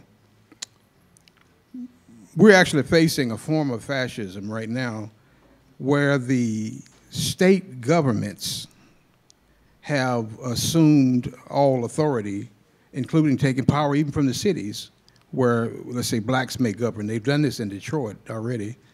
Um, and, it, and they're just at the infantile stage right now of doing it. So we need black people that are living in these cities, especially, um, you know, if they haven't thrown us out with gentrification. Um, but we need to be able to impact on what these people do and on what the overall government's plan is to get rid of us or whatever. We need to be able to have our own um, mechanism, turn our communities through, you know, political education, through organizing, and through uh, other forms of uh, contact with the masses of people, of which we're part, by the way, as activists. We're still part of it, as JoNina always points out to me. We need to be able to turn that into a fight back movement, community based, instead of having the government fight us, bring in killer cops, bring in social workers. That's what they did back in the day anyway. I don't know what they're doing now, but using these elements of the state to stifle the community. To, the government has created the poverty that exists in the black community. The government has created the so-called gangs and other things that exist today, you know, and, and, and in the past, years past, the government has, has done this. And um, the government has created whatever problems there are with police killings. Those cops are agents of the state and agents of the government directly, you know. And, and so the commune will give power to the people to decide, th- you know, through direct democracy or whatever, whatever form is there and, and they agree on, to be able to fight back and build counter institutions uh, it's an important element um, of, of uh, resisting uh, capitalist oppression, to be able to fight back, to not let them um, come in and poison the water, to not let them come in and uh, shoot and kill 10 kids or, or give out guns so that the kids will kill themselves. That's what's happened by this, at this point, that they, the guns have been given to people to be self-destructive. They gave blankets to the Indians, to the natives, to kill them, so they could kill them off, and they give guns to these youth. That's what they've done with the military surplus. But so direct democracy is a way that people can seize power within their context, not power to give it to some politician or give it to some group that wants, you know, create a dictatorship over people, but to put power in the hands of the people themselves so that they decide what it is they want to do and what methods they will use to do it. Um, some of this has been done before. As Brother Modibo always points out, it's been, some of this stuff has been done before. Uh, people were fighting the Ku Klux Klan with armed force. I don't know how many people know this or whatever. They've been fighting the Ku Klux Klan with armed force. That's why you don't see the Klan around much anymore. There's kind of their kind of outright racism have been defeated. Uh, people have been able to, in, in years past, to push the cops back. Of course, the Black Panther Party was just uh, an example of what came out of the community. It didn't come out of some ivory tower. It came out of the community. And other groups, the, the league, I always say that, now, I'm sympathetic to the Black Panther Party, so you understand I'm partisan, but I think that the league was, was certainly one of the most important movements out of that period. And somebody was talking to me about syndicalism, anarcho-syndicalism, like it was some kind of mystery thing or something. I said, hell, I said, in Detroit, there was a black syndicalist organization, a revolutionary syndicalist organization that none of you all even talk about or even know about. But just because you don't know about something, you better go ask somebody. You know, you can't come in and tell people that, that we don't know anything, that black people don't know anything, uh, that poor people don't know anything, and got to get it from some academic. You know what I'm saying? And the academics ain't never been in, you know, they haven't suffered what you suffered.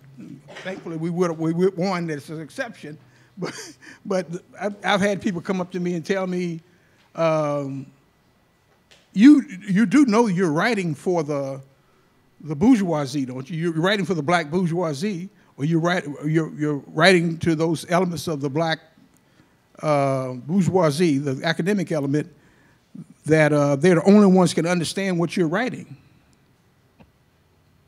And I had to stop and think about that. I said, I said, how do you feel? That? How do you figure that? I wrote anarchism and the Black Revolution in the penitentiary. And I wrote it with prisoners, you know, feedback, telling me stuff, asking them stuff. And um, they seem to understand it. There's a high level of consciousness in the prisons. And it would have been a hell of a lot more books written from the prisons if it wasn't been, hadn't been for censorship. So this idea that people can't understand. You know, I'm self-taught. Somebody was using the term I hadn't heard it used in any other conference anywhere. Or autodidactic, I think it is. A self-taught individual was some of the best organizers and the the um, theoretical organizers and, and, and activists have just been people who taught themselves. They taught themselves complicated political theories and so forth and so on. And that was the real thing with the Black Panther Party and the Black Panther newspaper. It taught people complicated theories, and then they could turn around and understand it and teach it to someone else. Modibo, do you want to speak to the to that second question about the diaspora connections? Do we need it repeated? Well, the second question was about was there a, a, a commune in Oakland? I, I don't know of one. That Well- was the second question. I, not that second question. The the the other question that we had the follow up after that. Do you Oh, want to? Do you the want? other question was about the uh, about, about the uh, diaspora connection. Right. The, the concept of Pan Africanism was a concept which really uh, came out of the political struggle against colonialism, which was a struggle, a di- diasporic struggle against classical, you know, against classical classical colonialism. Uh, and but it was statist. That's why I call it classical colonialism and classical Pan Africanism. But uh, neo Pan Africanism, which I believe exists, is a more non statist conception of the unity and independence of all African people. But the problem, the problem is, it's hard to think of and to conceptualize African liberation outside of outside of a statist a, net, a statist concept. When people talk about black liberation, they talk about establishing a political entity, which they sometimes say is the, a state, or sometimes they say something which like which will establish black political power. But um, the question is, the question to me is, we have to conceptualize Pan Africanism outside of a statist concept, which includes the um, the diaspora, but it's a people concept, not a not a unity of uh, governments and states. And that's where I am. I make a clear distinction between classical Pan Africanism, like in Nkrumah and them were talking about, and neo Pan Africanism, which is non statist. But all Pan Africanism. Got you.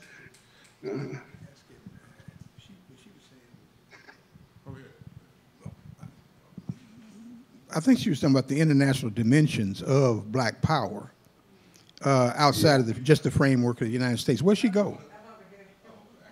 Is, is that correct?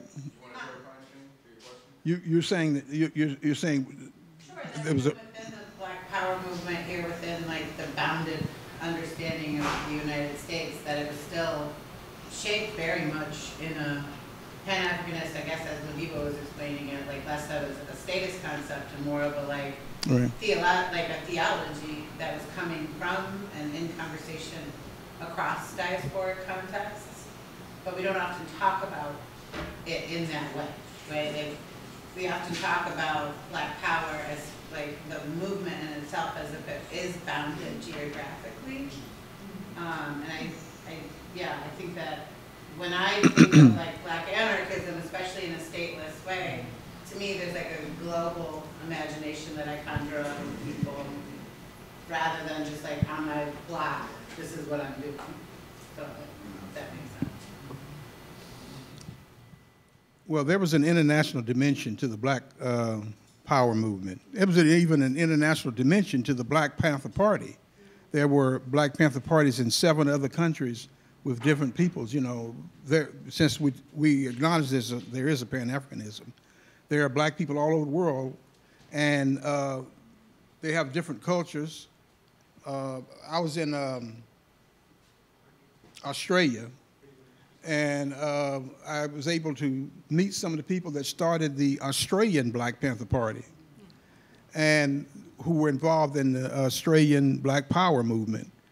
And it, it was just interesting that they were influenced by what happened in the United States, but they took and built their own conceptions of it in, in Australia to, to combat uh, the kind of uh, racial chauvinism they were dealing with that and colonialism and genocide. It also it was part of their process. Um, and of course, we talk, you know, we know about, it, I believe, we know about the Black Power movement in, in um, um, London and in England, in the UK, uh, which was, was very extensive, you know, uh, but was also based around the um, historical legacy of them coming, of the people coming from, from the Caribbean to the United States, I'm sorry, to the, to the United Kingdom, and, um, and building a culture there of long standing. It, it actually, they've got uh, cultures there as long as the United States, old as the United States. Uh, you know, black neighborhoods and communities. I was living in one at one, one time. Uh, so, and then uh, the, the, the international dimension where the anti-colonial movement and other revolutionary tendencies around the world linked with black power. You know, uh, these things have not really been studied. If that's what, now if this is what I'm answering to, these things have not been studied. Now you did mention about the some of the reactionary elements within black power. Well, every one of these movements, including anarchism, has a reactionary element. I don't even know if people know that there's a so something called uh, national anarchism, which is a fascist movement.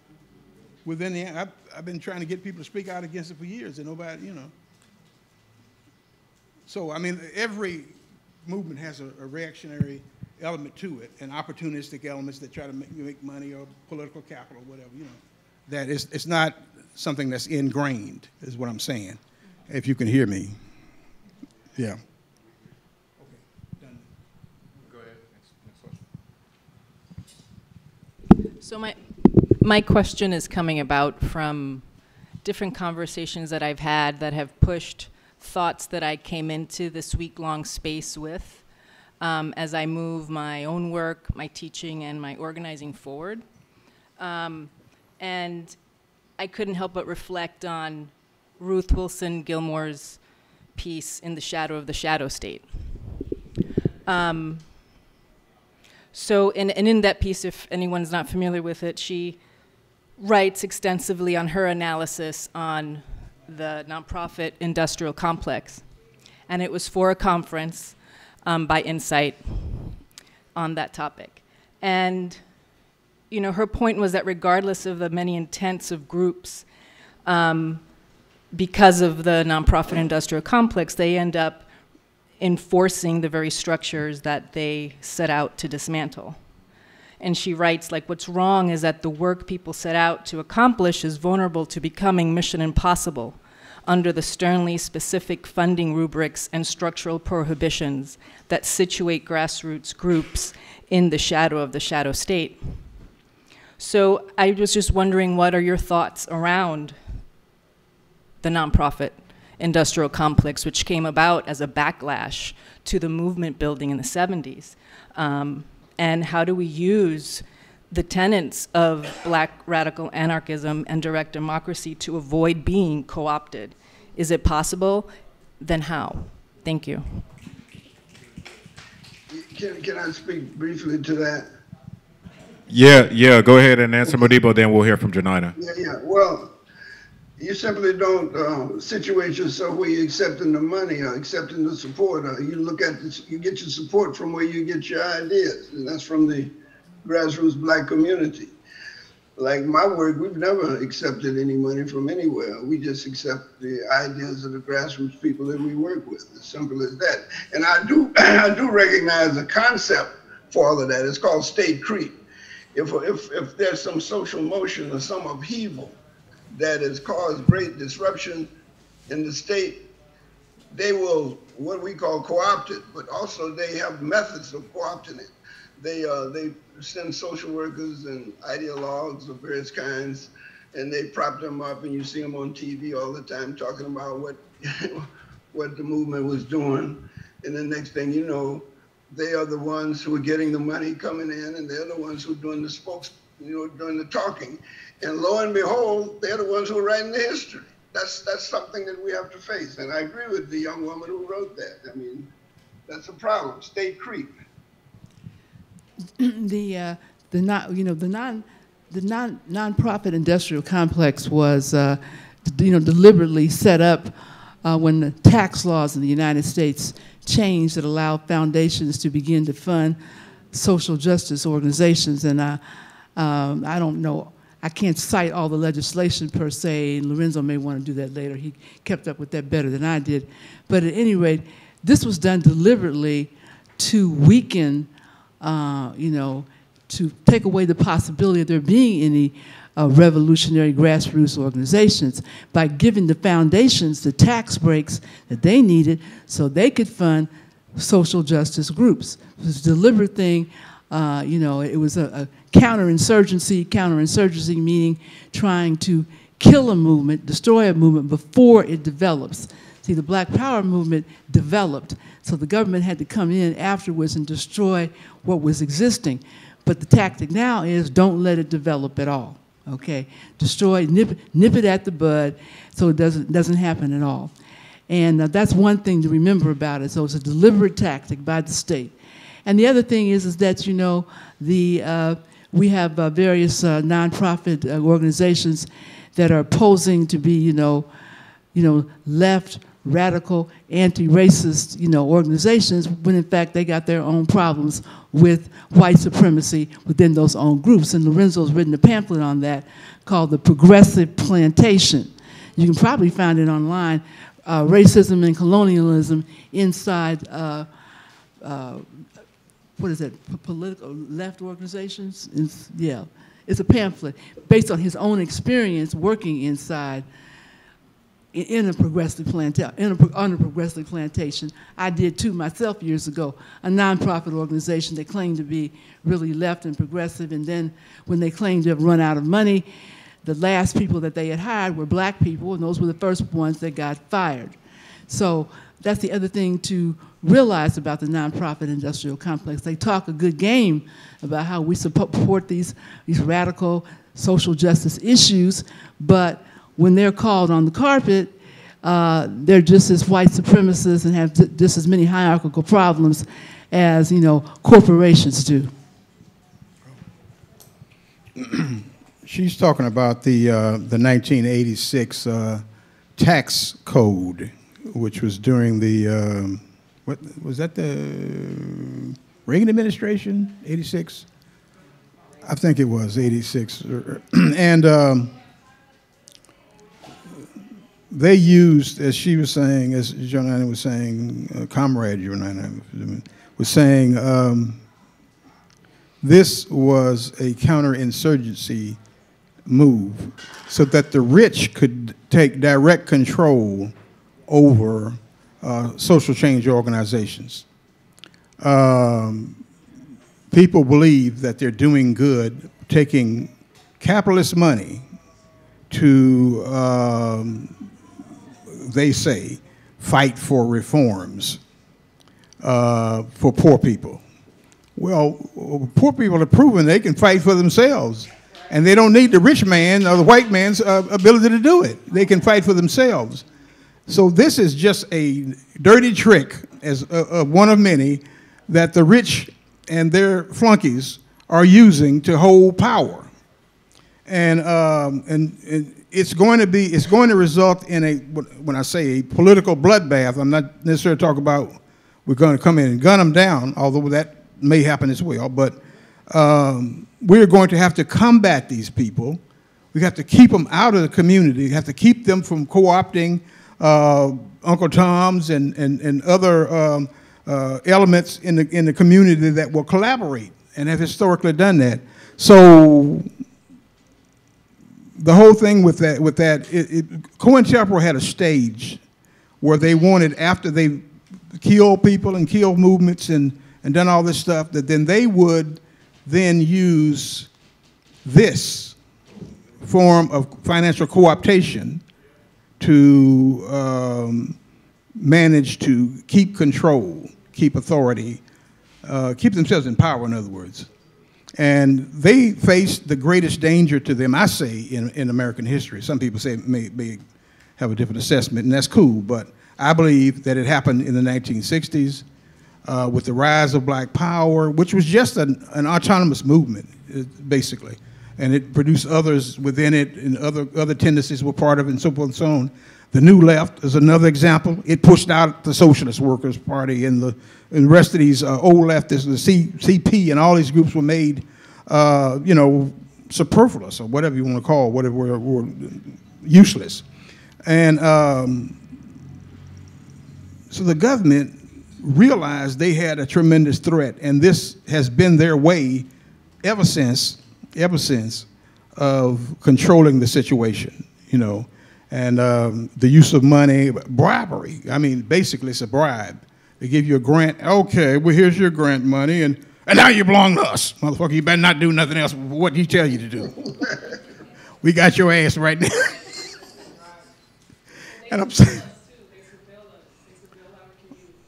Well, yes, that's true, but that's that's part of another program, part of another facet of the program the main thing is to keep, use money to bribe you and to keep you from uh, disrupting society with revolutionary uh, protests and demands. Let me just draw attention to a, a historical, uh, historical uh, phenomenon that I've observed. They also have these nonprofits that these preachers can get a hold of. Preachers preachers can um, enrich themselves very easily by just stealing the money of the people from through their nonprofit. They don't have to pay no taxes on it. They don't have to pay anything on it, and that's why you have this this rise of these phenomenally. I don't know what to call them, they're, but but they're phenomenally spectacular, massive churches all over the place, and they are part Mega of churches. the same process. And of course, they have a, an array of patrons that they send out everywhere. And you see them on TV, you see them all around. And uh, it's, it's an amazing phenomenon to behold. And just really to add to that, uh, which what y'all were just saying, um, I think that my generation and the younger generation has really seen this uh, play out horribly with all of the money issues that have come up as a result of the Black Lives Matter movement and a lot of the tens of millions of dollars that people have questions about. And many of those things were a result of the same pitfalls of things that we saw go wrong within the Black Panther Party with uh, talking about having a, a people led uh, movement that's not actually people led, that's actually very hierarchical, and with tons of foundation money coming, coming up missing from these national uh, civil rights and black organizations, and this happens repeatedly. And oftentimes, I think that, especially with many folks in my generation and, and uh, younger, we oftentimes wonder what could have been done with all that money, with all of that uh, power that had been amassed and centralized in those organizations. What what could have been done with it that would have better served people rather than just talking about it and not actually doing it. So I want to temperature check really quick, and I know we're at time, but I just I'm I don't I don't know how what you, how does this how do you feel, Mason? So we have some buffer time after this we can bleed into. I think just if we get a show of hands or wiggle your fingers, etc., we can spend the next hour in debriefing from the different tours people went on this morning, hearing different uh, aspects of those experiences, sharing them. We can spend it in more conversation with these four folks, or we can do you know some mix. Um, so I'll leave that all up to you. How about um, those who want to spend more of our time continuing this discussion? Uh, can I get some hands? And how about uh, transitioning into follow up from uh, what we saw this morning?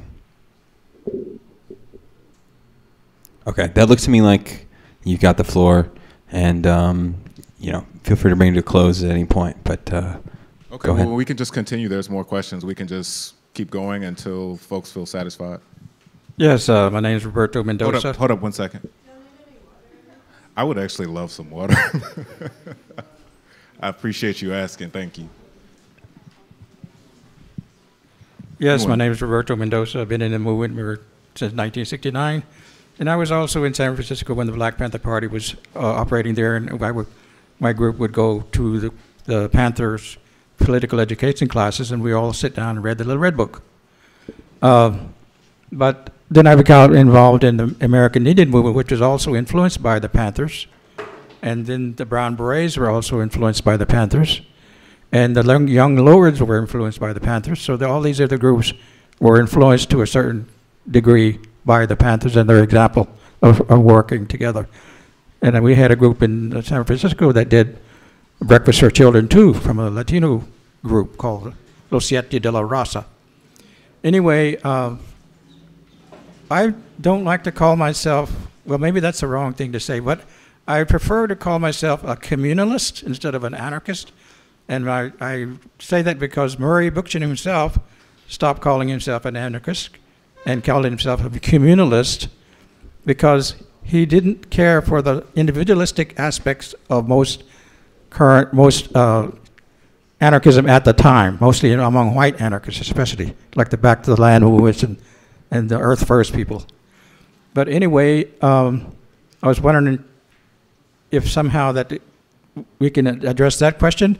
But the more immediate question I have in mind is, uh, I was wondering if you could get more strength for your movement if you started to look more closely at African-derived values, because Afri- uh, African American people came from Africa, and though they lost a lot of the connection, the languages, and even what tribes they were in, there still is values that were carried here a lot by the women, especially around growing food and uh, community. And an example of how that worked with Native people is that some of the slaves escaped, when the slaves escaped from plantations in Florida, they would join with the Seminoles, and the Seminoles would welcome them because they were also indigenous people, just from indigenous other country, but they had the similar values, earth-centered values. And somehow, I think your, your move, the black movement would be strengthened if somehow they could study those values that came from Africa and, tick, like I say, take the best and leave the rest, because not all of them are good, especially the, the thing around kings. Uh, and that might help connect to your roots beyond the United States. The roots are in Africa. Well, all our roots are in Africa, but especially you guys who are African American, your roots go back to Africa. And there's some strength in there from those values. And uh, an example of what the, the state is trying to do against those values, to distort them, is the movie Black Panther and the so called Kingdom of Wakanda. You know, they're trying to get you to talk about uh, hierarchical systems and glamorize them.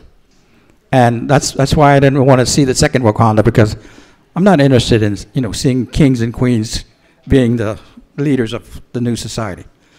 But anyway, uh, there was one other thing, I can't- remember. Well, anyway, that's, that's what I would, my question is, can you connect more with your African values that have survived here in the United States, largely among the women, but continue to operate on a, maybe a subconscious level, and how you could connect with that and make it stronger and strengthen your movement by making that deeper connection. Modibo, do you want to jump on that first? Well, it's all it's all our movement. Uh, but I, I, I was especially interested in his critique of, of uh, Wakanda with Black Panther. I think he's accurate, accurate in that, very accurate and very succinct in that. And um, Afrofuturism with kings and queens is similar to Star Trek, Star, uh, Star Trek with uh, captains and hierarchies for the military. But the point is, the point is that um, we are all more or less from societies that predated colonialism, wherever it was. Some of the Europeans were, if you study European history, not not the kings now, not the uh, House of uh, Bourbons or anything, but there were communal societies there, and um, you know, European history is not just the history of the ascendancy of the bourgeoisie and the rise of the, plant, uh, the, the feudal lords, which are the which were the plantation owners over there. Uh, they, you know, you, you got a history too. You know, the Viking history, the Vikings. Uh, there were communal societies over there uh, that uh, that need to be brought forward as uh, examples of uh, collective, direct democratic social organization. So I would, just like you would implore me to look look deeper into my heritage, well, I'll implore you to look deeper into yours. Well, next question. Sure. Um, yeah, also just want to thank you all for this. It's a real privilege for all of us to be here with you. Um, I've been struck by something listening to you all, and also especially reading your book, Lorenzo, in the way that you talk about the evolution of this movement for what you call black autonomy. And what I'm struck by is is a connection that I'm feeling with uh, the experience, the lessons learned by Kurdish women within the revolutionary Kurdish movement, which is leading, of course, the revolution in Rojava, that they came to this conclusion that while experiencing gender oppression within the movement, even and especially like in the face of other revolutionary comrades, that they came to the conclusion they had to build their own autonomous organizations as a base of, of power, as a counterpower to that oppression that they faced within the movement. And uh, I can't speak for you, but I hear something that, that strikes me as a connection that maybe there's an underlying principle that we all can learn from. And I'm curious if, if, uh, if you see it in this way, because I'm also struck by how much we, in these movements, we're talking about how do we address internal sexism, how do we address internal racism, and we're often talking about it like an accountability process, waiting for a problem to come up, when it seems like y'all are really getting more to the root of the problem. So, any any thoughts you have on this, I think we can all learn so much from. Thank you. Hello. All right. Um, yes, I've been saying for years uh, and experienced a very similar situation in terms of the hostility. Uh, one, in terms of the um, the people who were in the anarchist movement at that time, had the conception of keep anarchism white, keep European domination, blah blah blah, and so my approach and uh, was ultimately that we have to break away from this. We are not be able, we're not going to be able to convince the majority of white anarchists that um, they should adopt new principles and, and include us at the table. It isn't possible to get what they call now diversity, which is meaningless. It just means that you're part of some movement and you have no power, no, no voice. So we created Black Autonomy um, as a study group at first in Atlanta. Um, of course, that enraged these um, anarcho, some of these right-wing anarchists that enraged them. And as I told you, there are elements within, and always have been within the anarchist movement, there are some reactionary as, as elements that hated my guts for even being a part of this thing, even though I was just one person and um, one black person. But I started asking for things. Why don't we recruit, recruit more people of color? Why don't we go? I don't want, I'm not saying white people should come into communities and, and, and organize black people. I'm not saying that, but why don't you, you know, use this money you got to help uh, us organize in our communities in, in terms of an act of solidarity? No, wouldn't do that. And then eventually even tried to destroy the uh, campaign and had people attacking us from all over the world. Even white uh, settlers in uh, South Africa claimed to be anarchists were attacking us, one of whom has recently been proven to be a um, white supremacist or uh, in the so-called national anarchist movement, which is a fascist movement. So we were forced to, to create a uh, organization and we called it Black Autonomy. It was a collective at first, a black collective. And it was some students out of the Atlanta, I think it was from uh, Clark Atlanta University, and, and also some activists in the streets, you know, that I'd been working with for years. And um, so when, when we did this, we did it with an understanding that we had to create something uh, not totally new, but was independent.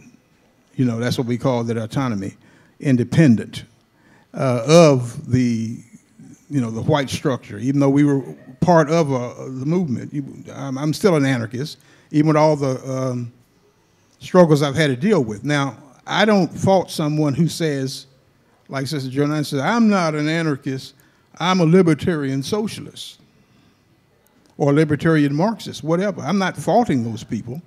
Uh, I think we have enough in common we can work together around issues. But, and, and, and I'm not anti, I didn't become anti-white. I understood what the process was that I was dealing with. And there were some white people, well, let me put it this way. I managed to split the anarchist movement and a new anti-authoritarian, a new um, anti-racist trend came about so that the whites started questioning each other. Well, why are you resisting them from even creating their own group? Why are you telling Lorenzo all this stuff that he can't do this and then he has to say this and he has to, you know what I'm saying?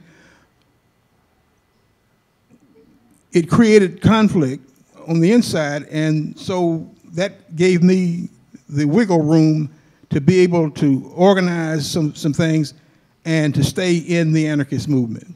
Now, this was my choice uh, as far as saying in the anarchist movement. I could have said, this is impossible, and I'm leaving. And I had no ties to, the, in the extent that somebody could tell me what to do, one way or the other. So my thought was that, look, we have to create this movement. It has to be autonomous. It has to be independent. Uh, it has to be, you know, strong enough that it's an entity that can speak back to people who thought they had power or people who had power in the anarchists, uh, socialists, and whatever, or to the government for that matter. Uh, people talk about um, talking back to uh, the, you know, people, I mean, talking back to the government, uh, to power. Well, we were talking back to the people. we were talking back to other people who had misinformed ideas who had reactionary ideas about the black struggle.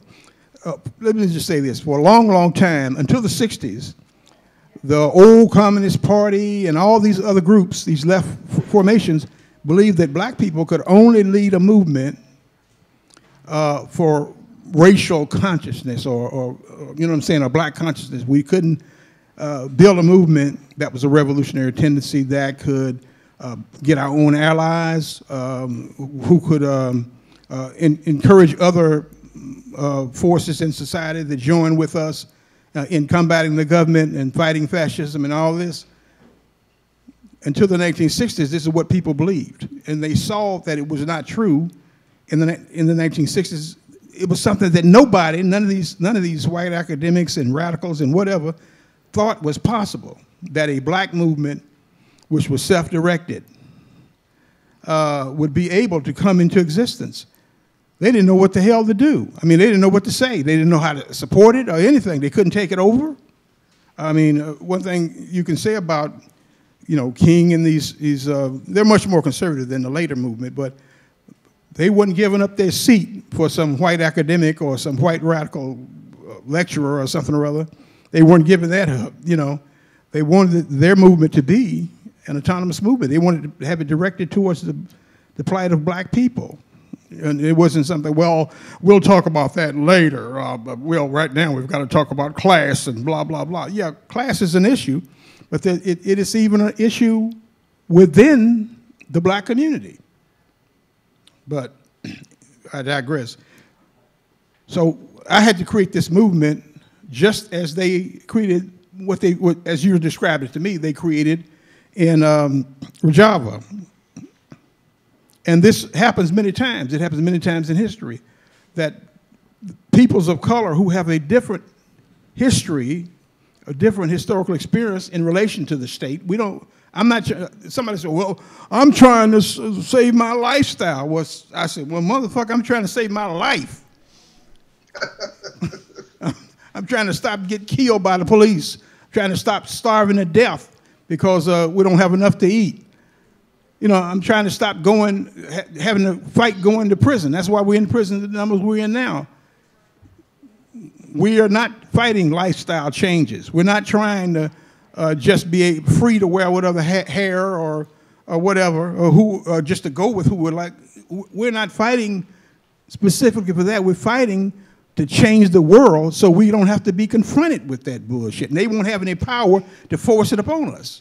That's what we're trying to do. That's what a revolution can do. So, yeah, I'm, I'm, I'm, I'm, I'm uh, united with that experience of having to break away and create uh, another tendency. Now, it doesn't mean separatism. Somebody said, well, you're a separatist.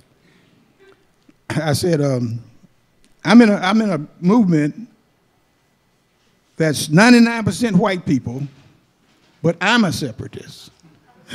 So you, you must be out of your mind. And, and, and saying, you must hate white people. Well, I'm in the same room with you. And, you know, and it's just a ridiculous proposition. You know, I was, that's the point I was making. Um, the right of peoples of, of color or, or, or, or of other um, political or social persuasion, women, the right should be irrefutable for them to do that, to create a autonomous space, autonomous movement, and to have their voices raised in a way that represents what they think, or what we think. You know what I'm saying? That is a that should be something that is um, a cardinal principle of any so-called social change movement. So can we, do we want to get this next question right here? And but, but, but before you ask that question, I also wanted to say I didn't mean to, we had a miscommunication there, and I know that you wanted to also answer the question about the Wakanda, the Wakanda point that was brought up. So do you want to speak to that as well? And you didn't want to, so did you have anything you want to say? Well, I mean, we know it's co-opting the Black Panther Party. We can say it together. we know it's we know it's co-opted in the history of the Black Panther Wakanda Party. is bullshit. Thank you.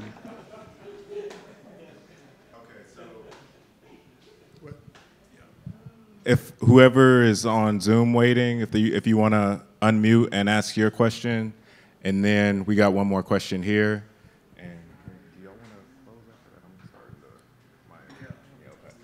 Okay, so Zoom, we got two more questions and then we'll close out. Okay, I was just wondering, um, what can non-black folks do to support black anarchist movements? And related to that, what are the best experiences you've had with white allies? Thank you for asking that question. I appreciate it. Um, you know, white support, white solidarity the main thing is to allow black people or you know, black anarchists, black autonomists, whatever we call ourselves, to allow us to do what we need to do to, to deal with our own struggle. That is the biggest thing that, that, you, that you can do to, you know, let us be. Uh, and as Lorenzo has said, I will reemphasize that we are not anti-white, but sometimes you can support people by just letting them do what they need to do the way that they need to do it. And that is really, in my opinion, the, the biggest thing that the white activists, white anti-racists can do. And of course, another thing is the fact that uh, the reason we are still having these kind of discussions, even about issues of white supremacy, patriarchy within the anarchist movement, is, is that over the generations, uh, um, you know, uh, anarchists of European descent who are elders like me and Lorenzo, by and large, have not done the job over the last half century of, of tackling this issue. You cannot have, as somebody said yesterday, you cannot have a discussion on white supremacy at your conference in 2000 and decide you're not going to have a discussion again until 2010. You have to talk about this stuff all of the time, all of the time, because it's always present. So my, my challenge, my request, my plea to white anti-racists, whether you're an anarchist or not, you may not be, is, is that to begin to do the work in uh, among white people, okay? Uh, you know, I, I, I, we can't, I mean, I can't, I can't speak for anybody else. I can't, it's all I can do at this point in my life to deal with the struggles in the black community. But who is going to do the work uh, among white people. I know all white people aren't the same and all white people are not hardcore racists, but we all know there's something going on. There's a growing fascism among many white people in this country. Who is going to do the work there? Who is going to speak to that? That is a kind of support that, that in solidarity that, you know, I at least as a, as a black woman uh, in, in the struggle, that is what I need, that type of support. Please, Somebody's got to do it. Well, one thing for sure, uh, the situation where, let's say, for there are two elements or two individuals in the in the um, um, Black anarchist movement, and, and I'm, I'm saying this more than just in, in an academic sense. White people on the outside, white activists, have got to stop interfering and picking sides picking sides, picking one person because that person sounds like they who they want to respond, who they want to uh, support, um, and then the other person is demonized or try to neutralize them, silence them, whatever. Now that stuff happened to me. I'm not going into a lot of detail about it and so forth. I'm just going to say that it's just important that in a movement that professes everyone has the right to self-theory and self-liberation and so forth and so on, a movement like that, then black people don't have the right to do this. Every other people have come to America or, or exist around the world can create a tendency, but somehow if we do it, it's a threat, you know, somehow. Um, so it's important, as the sister says, I'm with her. You know, she's not with me, I'm with her. I want to get that straight now. But, uh, you know, as she said, you know, let the movement develop on its own terms. Don't let fear or hatred or, or whatever get in the way of, of allowing a movement to develop.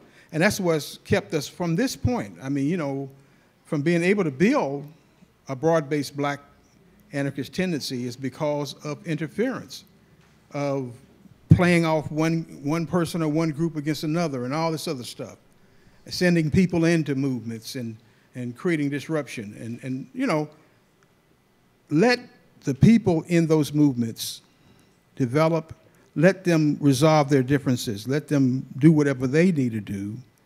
And then um, I think it would strengthen the entire anarchist movement. Now that's my that's been my belief all along. And um, some people believe it, believed it, many people didn't. And uh, I was always an outcast and all this other stuff within, within the anarchist movement to a large degree. I, I want you to know that. We can avoid that. We can avoid that just by stepping back, respecting people's space, respecting people's positions, and um, letting it all happen. All right. Let me just say something quickly about that. Great. Um, uh, it's been my experience that once you sit down and talk and come to a conclusion about what you want to do, everybody's judged by the capacity, their, their, their willingness to carry out what they say they're going to do.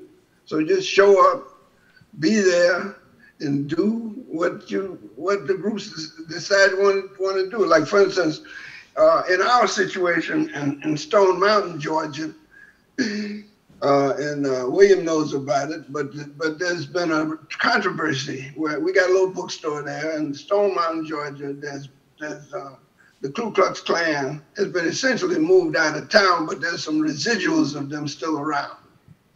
And so the the, the, the flag as you enter the city is on a on a flagpole, but the city owns the flagpole and the Confederate flag used to be up there. Somebody pulled the Confederate flag down. So the issue now is, should they remove the whole the whole uh, flagpole? So you know, we we talk about it, and then when when it's time to show up to the city council, uh, you know, we're glad to see white people uh, vociferously uh, support support our effort, and they're they're very good at it. And that's how you build alliances. You build build alliances and trust through people doing what they're supposed to do and doing what they agreed to do and discuss it, you know, about how effective it was and just be equal among equals. That's all. But do what you're supposed to do and don't claim no privilege. Don't claim no privilege at all. Just do it. do what you're supposed to do. And it'll, it'll turn out all right. it really will. Okay.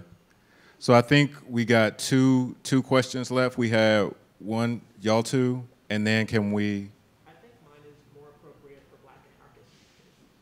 Okay. So do you did you have a que- so can we get these last two questions and then we close out? Is that all right?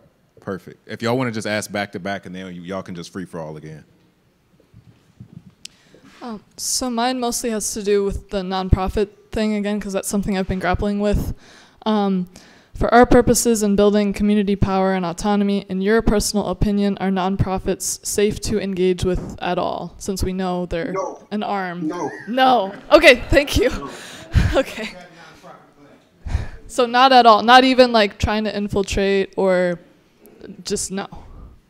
No. So we got that. f- We we want we want we're just gonna do both and then y'all can answer all of it together. Okay. You want to ask too? Hello. All power to the people. Um, uh, I have uh, a question about uh, alliances, uh, so-called ethnic lines, uh, gender, uh, but basically ethnic. And I wanted um, someone to talk about Slim Coleman in Chicago, Chicago, um, uh, and the international intercommunal survival committee. Thank you. Okay. Y'all want to just go for all those questions? Nonprofits in Chicago. And You want to talk about the nonprofits first, and I'll talk about intercommunal survival. Committee. Well, I, I don't know anything about it. William, I don't know anything about it. I heard you. I, I do, I, we got it covered, brother. we, we, JoNina will answer that one when they I, I, I was talking about nonprofits being, you know, nonprofits are not an innocent thing. It's, it's been in American law a long time. But um, in 1986, as I pointed out with the, the 1986 tax code, and the ability, as JoNina was saying, to give for foundations, uh, corporate foundations, to give money to so-called radical organizations. Um, it was in fact a counterinsurgency method, and I'm not trying to hype it up like some James Bond kind of thing. Uh, it just was part of the COINTELPRO program. It was, it was part of the government uh, uh, neutralizing program, And um, its purpose was to, as I pointed out, make sure that radical groups, or what would be radical groups, are not ch- challenging the uh, state itself, but that they were willing to uh, work with the existing power structure. And they would work, in fact, to destroy um, autonomous movements and radical movements from that period. And they did that pretty much. I mean, they ain't killed us all off, but they killed a lot of groups off and, and, and broke them down because they didn't have resources to combat these people and to combat these groups. And so these phony groups take the place of what was uh, the real groups, okay? Um, now, in this period, these uh, things have taken over, these uh, nonprofit entities controlled by the corporations have taken over, have taken power from uh, radical movements. We ain't all dead, but we are in the margins now. We're way, way in the margins, you know. And so we're trying to find new ways of organizing. And for me, anarchism was that new way because it wasn't, as far as I know, uh, taking money from uh, the rich. It was trying to take money from the rich. And I said, oh, yes, expropriation, I'm right with you. And I believe that's what, let me just mention this as black people, people here. Uh, I believe that that is what we should do with the reparations movement. We should make it a, a protest movement, a fight back movement, and uh, expropriate the rich with it. Put threats on the city government. I'm not saying go in and put a cap in them or something. It ain't that stage, but I'm just saying that we need to organize a, a protest movement that can put pressure on them. That's what a lot of people think expropriation means banditry.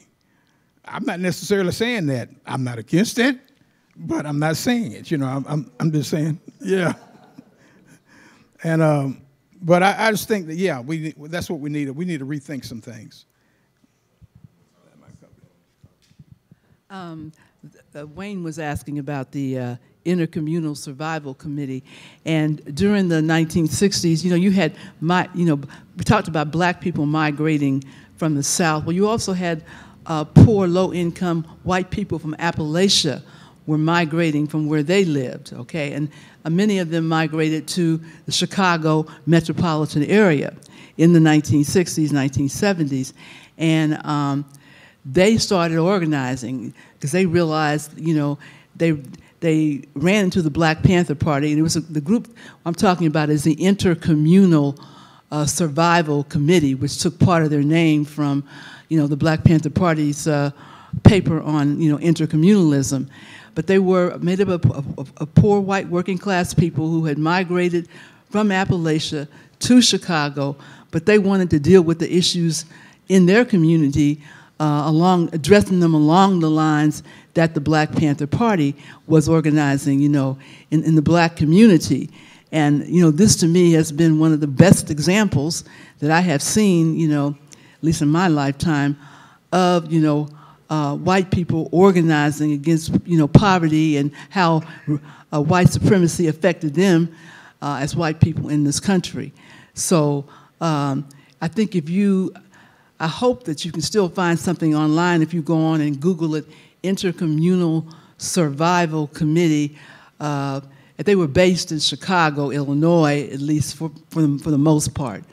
But that's a very important part of the struggle because unless we have those that kind of organizing going on among you know poor low, low income uh, white people in America, we, we can't get to the final goal, which is a total overthrow of capitalism. We've got to have this going on, you know, on a broad, broad scale.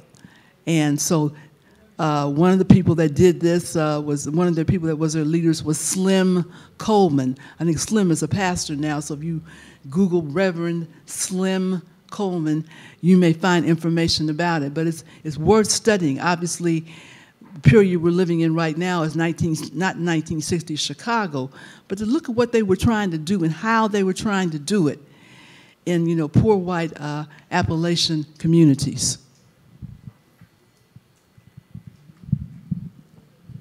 Well, um, this has been a phenomenal discussion, and I have learned a lot. And I talk to y'all all the time, and I'm always learning every time I talk with y'all. And I really am appreciative of um, you all taking the time and everybody uh, who's been participating in, in this dialogue.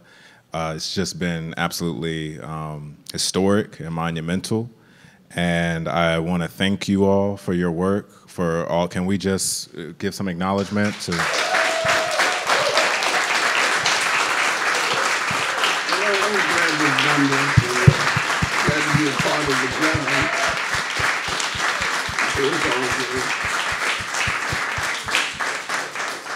I just I just want to say as we close out that you know these these are three people here who speak so much about folks who are over other people who are overlooked and um, who are rank and file and don't get the credit that they deserve within uh, the the history of um, black struggle in this country, but they oftentimes speak about it in a way that I don't feel like y'all even give yourselves the credit that's due for how you've been overlooked and how your history has been neglected and for all of the things that you've contributed. So um, I think just really I want to say that on behalf of so many people that want to say it to y'all that we're very appreciative. So um, we have another uh, session in the morning with Ashanti Alston, who is going to be speaking uh, with with me about uh, futures of Black anarchism at 9:15. And I hope that there is a fly around me. I'm sorry, that's why I'm doing that. If if everybody um, would please join us again tomorrow. We're, I think we're going to have another phenomenal discussion about taking a lot of the, the aspects we talked about today forward in terms of uh, organizing and um, the thinking and the writing and all of the things that are going to play a different part in, in this sort of work. So and we'll we'll let Sister JoNina close us out. Um, well, I Lorenzo and I would like to uh, thank um, thank William uh, for his support. He's been working with us for a while on the Black Podcast, Black Autonomy Podcast. We first met him when he was a student at the University of Memphis, I guess 12, 13 years ago. For the conference. It, Okay, but the meeting was at the University of Memphis, right? And that's where we first, first met him, but we hadn't had sort of lost track over the years.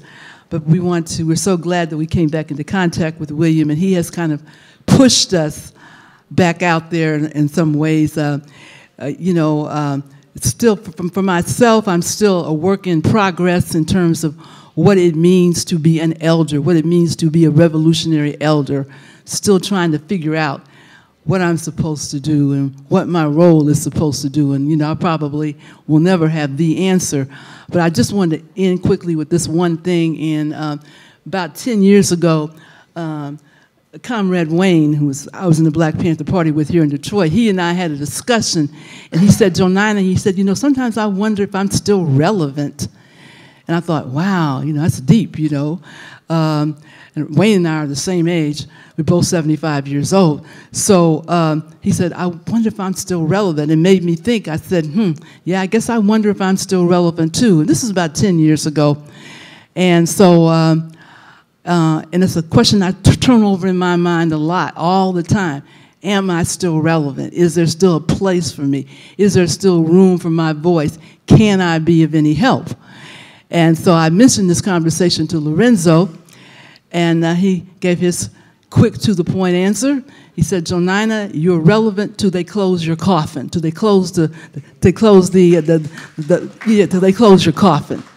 So uh, mine hasn't been closed yet, and I want to thank William especially for helping to make us realize that we can and are still relevant. Thank you.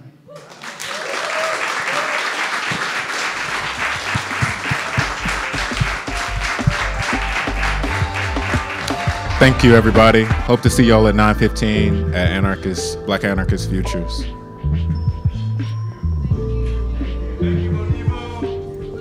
Thank you, Modibo. I don't think yeah, Modibo's even paying attention anymore. he's tuned out. He's zoned out.